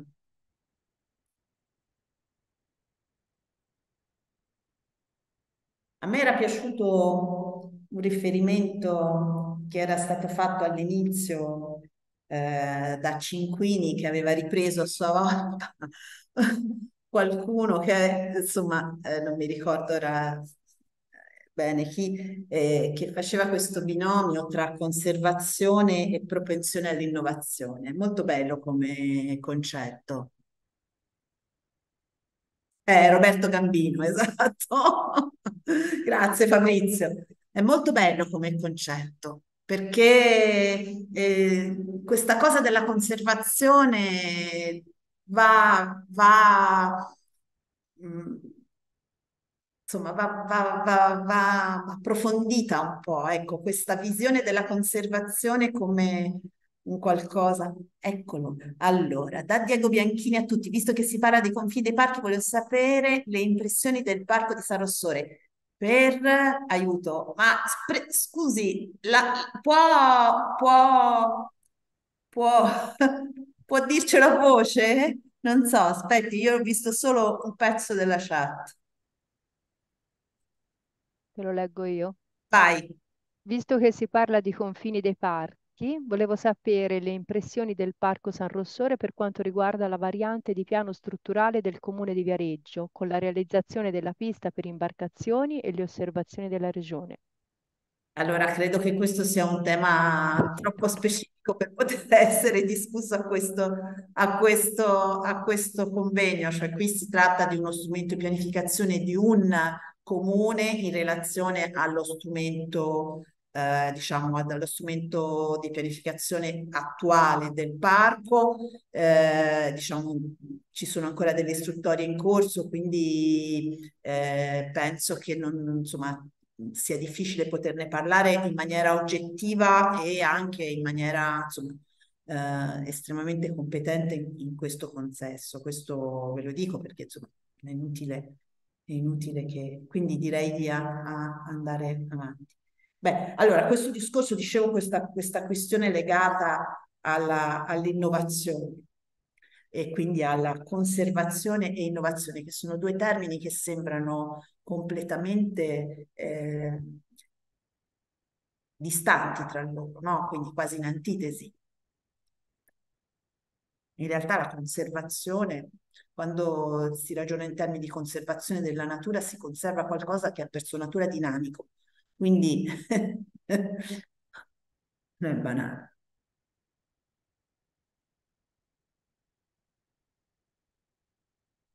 Allora, io direi a questo punto se, eh, se eh, tutti siete d'accordo, visto che non ci sono richieste di intervento specifiche, direi che possiamo passare alle conclusioni dando la parola ai tre presidenti eh, dei tre parchi regionali.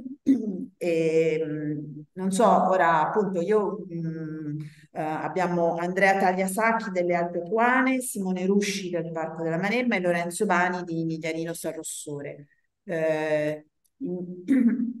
se diciamo in qualche modo vogliamo rispettare quest'ordine di, eh, di, interventi oppure potete decidere chiaramente voi come volete. Io direi intanto se sì, prego. Sono Donella Consolati dal Parco delle Alpi Apuane. Il presidente Tagliasacchi si sta trasferendo da Lucca a Castelnuovo e quindi diciamo preferisce fare il suo intervento tra un pochino. Perfetto. Benissimo. Aveva anche messo lì.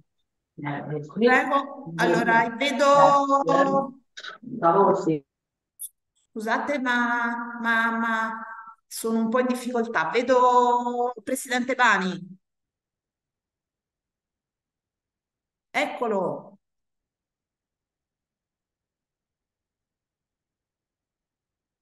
Aspettiamo che, si, eh, che il collegamento si definisca. Non so se mi senti, Presidente. Piano piano ti vediamo. ecco. Ora non lo vediamo più.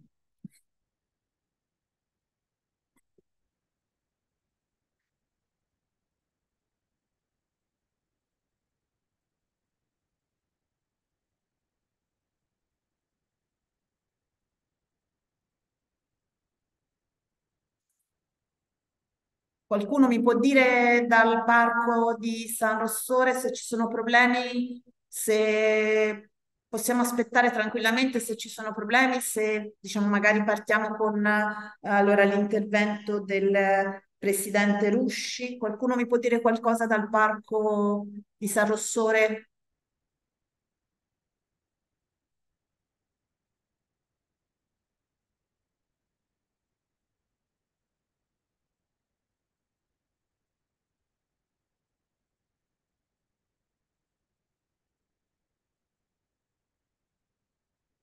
Era collegata prima una collega uh, del parco di San Rossore, credo, non so se mi... Ecco, ecco, forse qualcosa, forse stanno perfezionando il collegamento.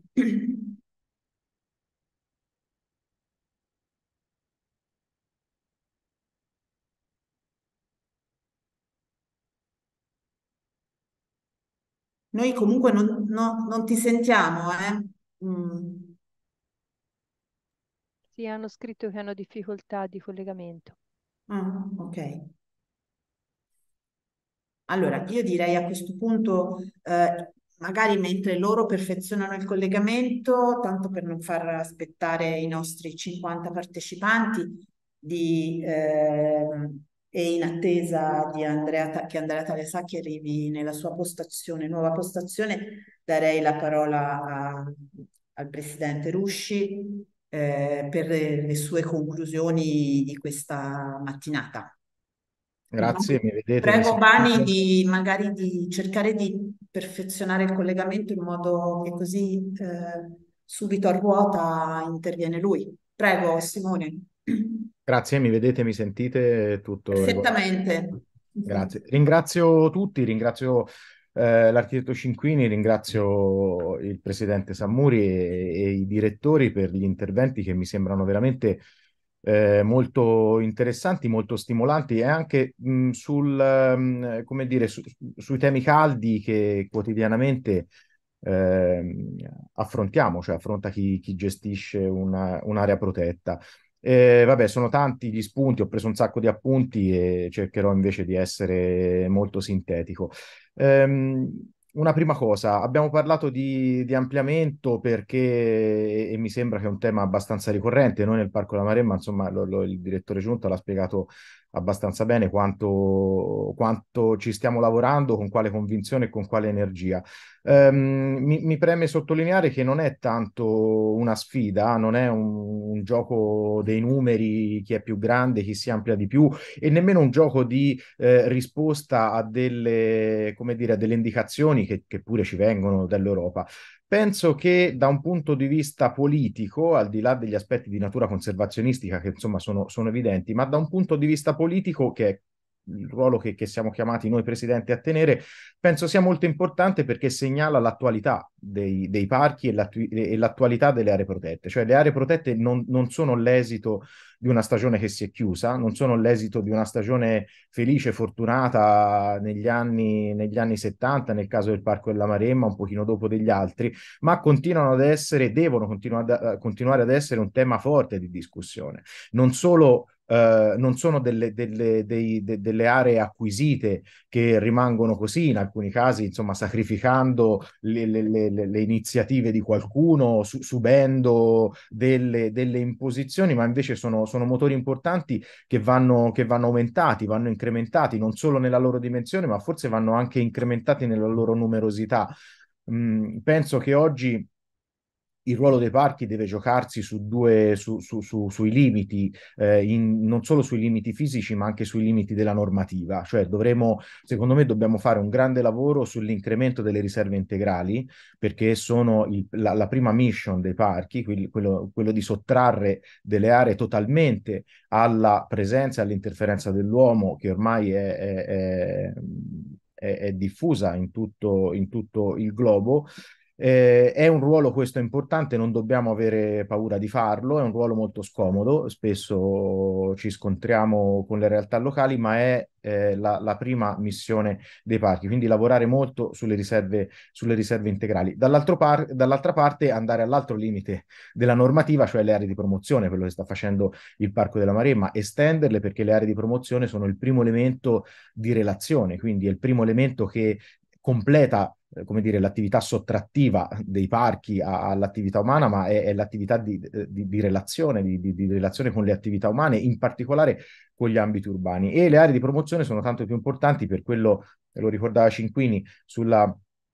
protezione della biodiversità agraria. Oggi abbiamo non solo delle, delle, delle importanti perdite di contesti naturali, di, eh, di ecosistemi naturali, ammesso che, che, che esistano ecosistemi naturali ormai, ma abbiamo la perdita di grandi valori ecologici, ecosistemici, di habitat e di paesaggio sul fronte agricolo, cioè su quelle aree, ad esempio sulle aree di pianura, che sono quelle più soggette anche all'industrializzazione, alla semplificazione di paesaggio e che oggi sono a rischio come lo erano a rischio le aree boscate negli anni 50 e 60 o negli anni 30 quando è stato messo a punto il, il vincolo idrogeologico. Ecco, oggi siamo chiamati a tutelare delle aree che intuitivamente non, non, non pensiamo debbano essere tutelate e tutelate e queste sono ad esempio le, le, le grandi aree agricole con delle sistemazioni, con sistemazioni storiche ma anche con relazioni ecologiche importantissime tra fauna e attività agricola che rischiano di perdersi nella semplificazione dell'industrializzazione, nei cambiamenti culturali che a volte appunto sono molto, sono molto invasivi. Quindi ecco, questo, questo, lavoro ai margini della normativa io lo trovo, lo trovo, molto importante e cruciale e mi fa piacere che sia emerso anche in tutti, in tutti gli interventi. Dall'altro lato, mh, forse questo lo abbiamo, lo abbiamo, sottolineato un pochino con meno enfasi, ma penso sia importante, tu Gilda lo, lo, hai detto, lo hai detto più volte in diversi contesti, eh, rafforzare la rete delle aree protette, quindi rafforzare il ruolo e la sinergia tra eh, parchi nazionali, parchi regionali e soprattutto con la rete fitta delle riserve. Cioè le riserve regionali secondo me devono entrare a far parte in maniera molto più sinergica, molto più forte del, della rete di tutela. Quindi non pensiamo solo ai parchi, ma penso ecco, che le riserve e la federazione, chiamiamola così, tra riserve e parchi sia un elemento, un elemento molto importante.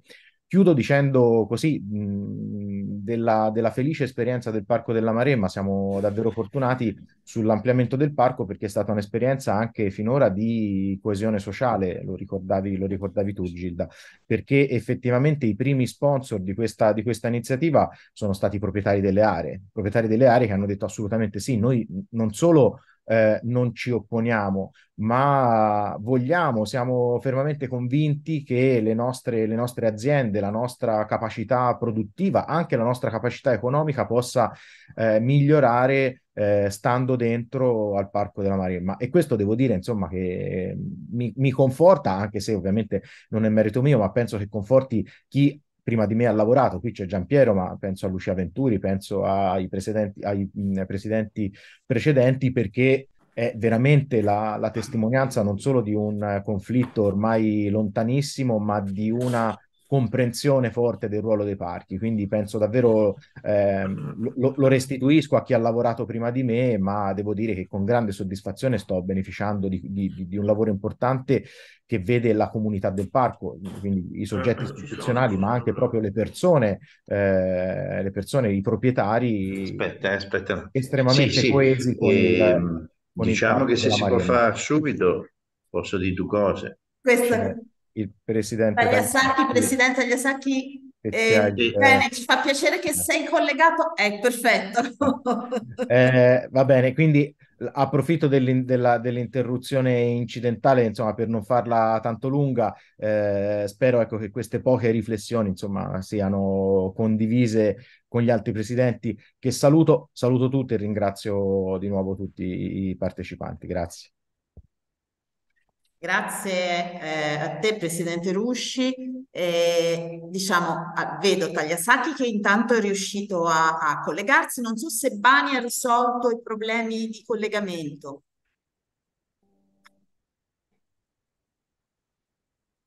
No, quindi allora io intanto darei la parola a, a Tagliasacchi. Eh, Presi- sì. Neo, Presidente, ormai non più Neo, è già qualche eh, giorno. No. Insomma, sì. Allora, io, allora, io ho, ho, seguito purtroppo non, non, in maniera continuativa perché avevo una serie di problemi di spostamento e, e, e, organizzativi, quindi vi chiedo scusa, ho seguito naturalmente alcune cose, quindi il mio eh, prendetelo perché appunto sono l'ultimo arrivato, quindi prendetelo come un, un, un saluto, po- poco più che un saluto, eh, quindi... Eh, Devo dire che comunque ho trovato molto interessante il modo in cui è, è stata preparato questo incontro, gli vari approfondimenti, quindi anche molto utili da diversi punti di vista. Io voglio solo sostanzialmente inquadrare il, il ragionamento che, che, che, ho sentito, che avete fatto, diciamo, nel, nel, in quello che è il mio approccio, ecco, di, di, di, anche alla luce dell'esperienza amministrativa che mi porto alle spalle e eh, soprattutto nell'ultimo periodo anche come coordinatore de- dei comuni delle aree interne eh, dell'Unione dei Comuni della Garfagnana.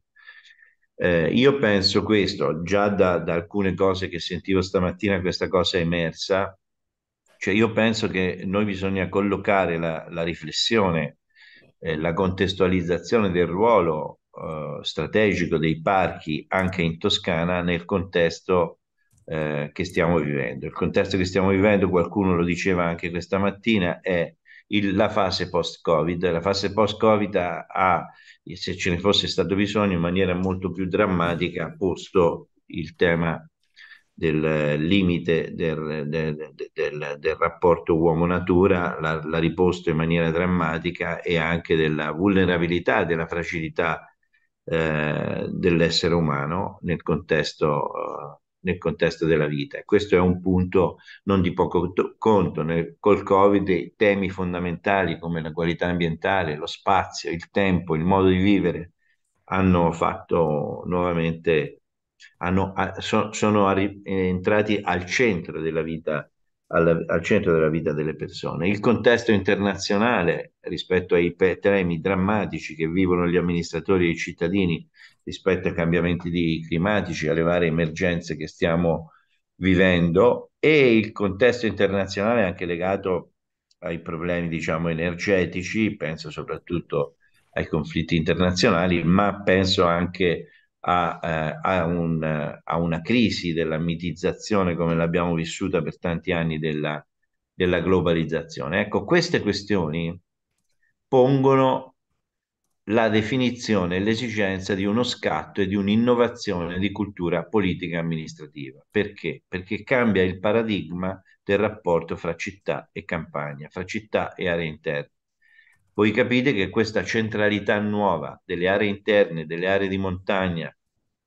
eh, che di per sé hanno nel loro DNA, nel loro vissuto, anche alle, grazie alle scelte che sono state fatte dalla stessa politica dei parchi, ma non solo, hanno nel loro DNA il nucleo della nuova idea di sviluppo, perché rispetto a queste questioni, a questo contesto,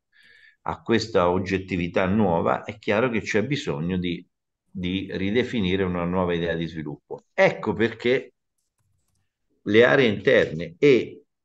in questo caso eh, il sistema dei parchi toscani può svolgere una nuova centralità anche in termini di contenuti nuovi e di innovazione, perché è evidente che noi abbiamo bisogno di un confronto forte col mondo universitario e con i centri di competenza, perché definire oggi, partendo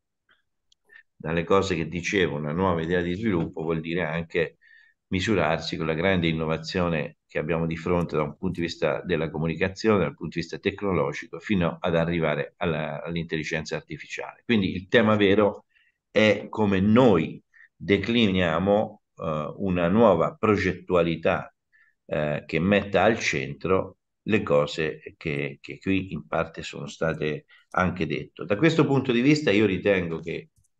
il convegno in, coglie una, un'intuizione che per me è molto positiva, e cioè il rapporto fra i parchi.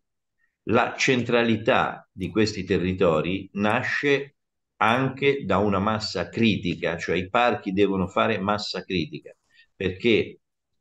io lo dico sempre, Parco Nazionale dell'Appennino, Parco, regionali, Parco Regionale delle Alpi Apuane, Parco di Migliarino San Rossore, eh, gli altri parchi della Toscana e se, se, vogliamo allargare il ragionamento, il parco di Migliarino, eh, il parco delle Cinque Terre, coinvolgono tre regioni dell'Italia e coinvolgono la, un, la spina dorsale, penso all'Appennino, ma anche penso alle Abuane, di eh, il cuore, insomma, del pulsante del nostro paese. Il tema quindi di una progettualità internazionale, di una progettualità europea che faccia massa critica rispetto al contesto attuale che stiamo vivendo diventa veramente fondamentale ed importante. Quindi insieme alla definizione, alla regolazione eh, e alla gestione dei singoli parchi, noi dobbiamo provare a capire come rilanciamo questa, questa forza, perché oggi, oggi è una forza nuova, oggettivamente il contesto che stiamo vivendo ci dà veramente la possibilità di aprire un ragionamento programmatico, ma anche di contrattazione amministrativa, politica nuova rispetto a quelle che tradizionalmente sono considerate le aree forti o gli assi di uno sviluppo tradizionale che comunque è in crisi. Questa era la considerazione che vi volevo consegnare. Grazie. Grazie Presidente Tagliasacchi. E adesso non so se il Presidente Bani è sentito. Mi sentite? Perfetto, perfetto. No, miracolo. È stato un miracolo, è stato un miracolo perché qui al parco ci sono problemi di connessione, problemi di collegamenti. Infatti siamo riusciti alla fine di, di, su questa cosa, no? Quindi io ho, ho... A, te la, a te la parola. Ecco, no, intanto mi scuso, mi scuso con tutti i partecipanti per, non solo per queste difficoltà di collegamento, ma anche per il fatto che Riccardo ha avuto dei problemi eh, familiari per cui non è potuto partecipare a questo incontro. E devo dire che quindi manca una parte importante per cui io ritengo che sia anche compito mio come presidente del Parco di San Rossore cercare di fare in modo di organizzare una cosa, Gilda, anche successiva in cui coinvolgere un po' tutti i soggetti che sono presenti a questo convegno, anche perché è stato un po' un convegno fatto in una certa modo, ora non voglio entrare nel merito, però deve essere un convegno dei direttori di natura su ragione, di natura tecnica, come erano stati fatti precedentemente. Qui siamo andati su questioni molto più importanti, sulla pianificazione, sulla progettualità, sulla presentazione dei piani integrati su cui secondo me ci deve essere un maggiore coinvolgimento tra i presidenti e quindi questo sarà in futuro uno degli obiettivi che ci dobbiamo porre perché in questa occasione era un'occasione importante ma la affronteremo in un secondo tempo ecco, quindi non voglio entrare nel merito di questa cosa. Io devo dire che anche per quanto riguarda l'eventuale presentazione come ho visto anche degli altri parchi del piano integrato noi siamo ancora nella definizione Gilda lo sa alla delle coerenza delle procedure e tutto il resto, siamo ormai arrivati alla, alla, fine, quindi ancora non è andato in giunta, per cui ci sembrava inopportuno anche in questa sede no, presentarlo e quindi abbiamo, attende, attendiamo di che i passaggi siano definiti, definiti e compiuti. Quindi ecco, io penso che ho sentito molti interventi, specialmente anche quello dei, dei presidenti del, delle, delle Apuane e della Marema, che secondo me è necessario sempre più mettersi in rete fra di noi in maniera più stretta, eh? fare massa critica, ma anche nello stesso punto creare elementi di confronto continui su tutta una serie di problematiche che sono similari, omogenei fra tutti i parchi. Quindi io mi auguro che si possa creare un, una piccola cabina di regia, usiamo questo termine, fra i presidenti dei parchi in modo che si possa ragionare insieme su tutta una serie di aspetti, visto che poi alla fine tutti e tre i piani integrati no? andranno alla, alla, alla, all'adozione da parte del Consiglio, del Consiglio regionale, quindi c'è necessità anche di verificare fra di noi tutta una serie di problemi. Quindi io non, non posso altro che dire, condividere l'intervento di, di, di Simone, l'intervento di, di Andrea e quindi ecco, da questo punto di vista avremo il tempo anche come parte di Migliarino San Rossore di poter presentare nel nostro piano e fare un discorso tutti insieme, quindi aggiornare anche alla presenza del Parco della San Rossore nella sua completezza un, un, prossimo appuntamento che concorreremo insieme, Gilda, in modo ecco, da avere anche questo pezzo eh, importante del Parco Migliarino San Rossore nella valutazione e nella discussione sulla pianificazione. Grazie, grazie Lorenzo. Direi che è molto importante l'iniziativa che tu proponi perché l'obiettivo diciamo, del, del coordinamento sempre tra i parchi è un obiettivo che ci portiamo dietro noi come tecnici, quindi parlo eh, la mia struttura come la struttura regionale che ha rapporti con i parchi regionali e i tre direttori, noi eh, ce li portiamo dietro da, da tanto tempo. Quindi il fatto che questa cosa sia presa in mano dai presidenti per noi è molto importante, vuol dire che viene raccolto e viene diciamo, eh, diciamo un soggetto politico politico che in qualche modo deve dare gli indirizzi si fa, si fa portatore di, questo, di queste esigenze e questa è una cosa diciamo importante. Quindi eh, benissimo, secondo me si, si, va proprio nella direzione in cui abbiamo sempre lavorato in questi anni. Questi convegni nascono ormai da diversi anni e, ci, e servono non tanto eh, diciamo per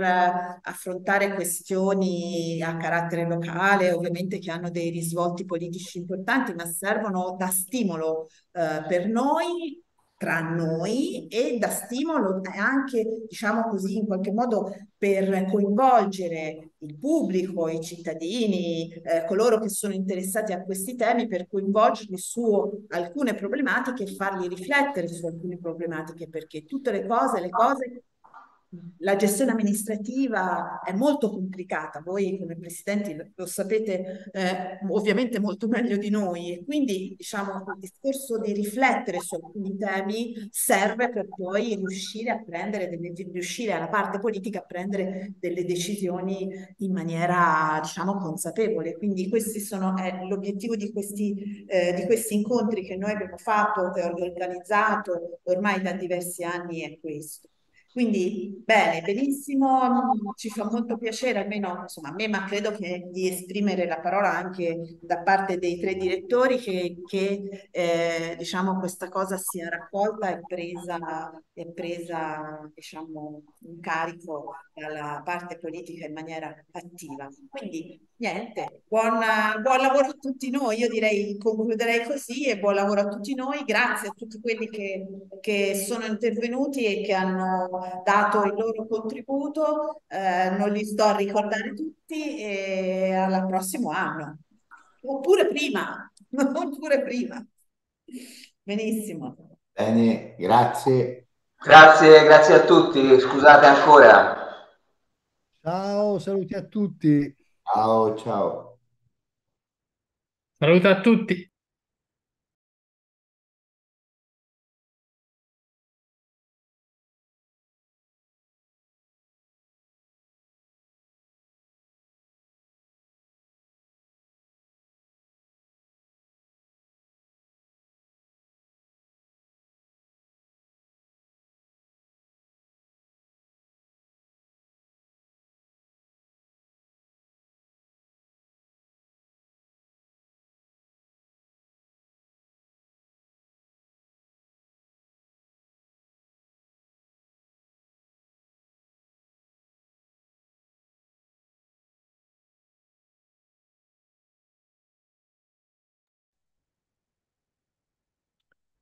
Volevo bloccare lo streaming.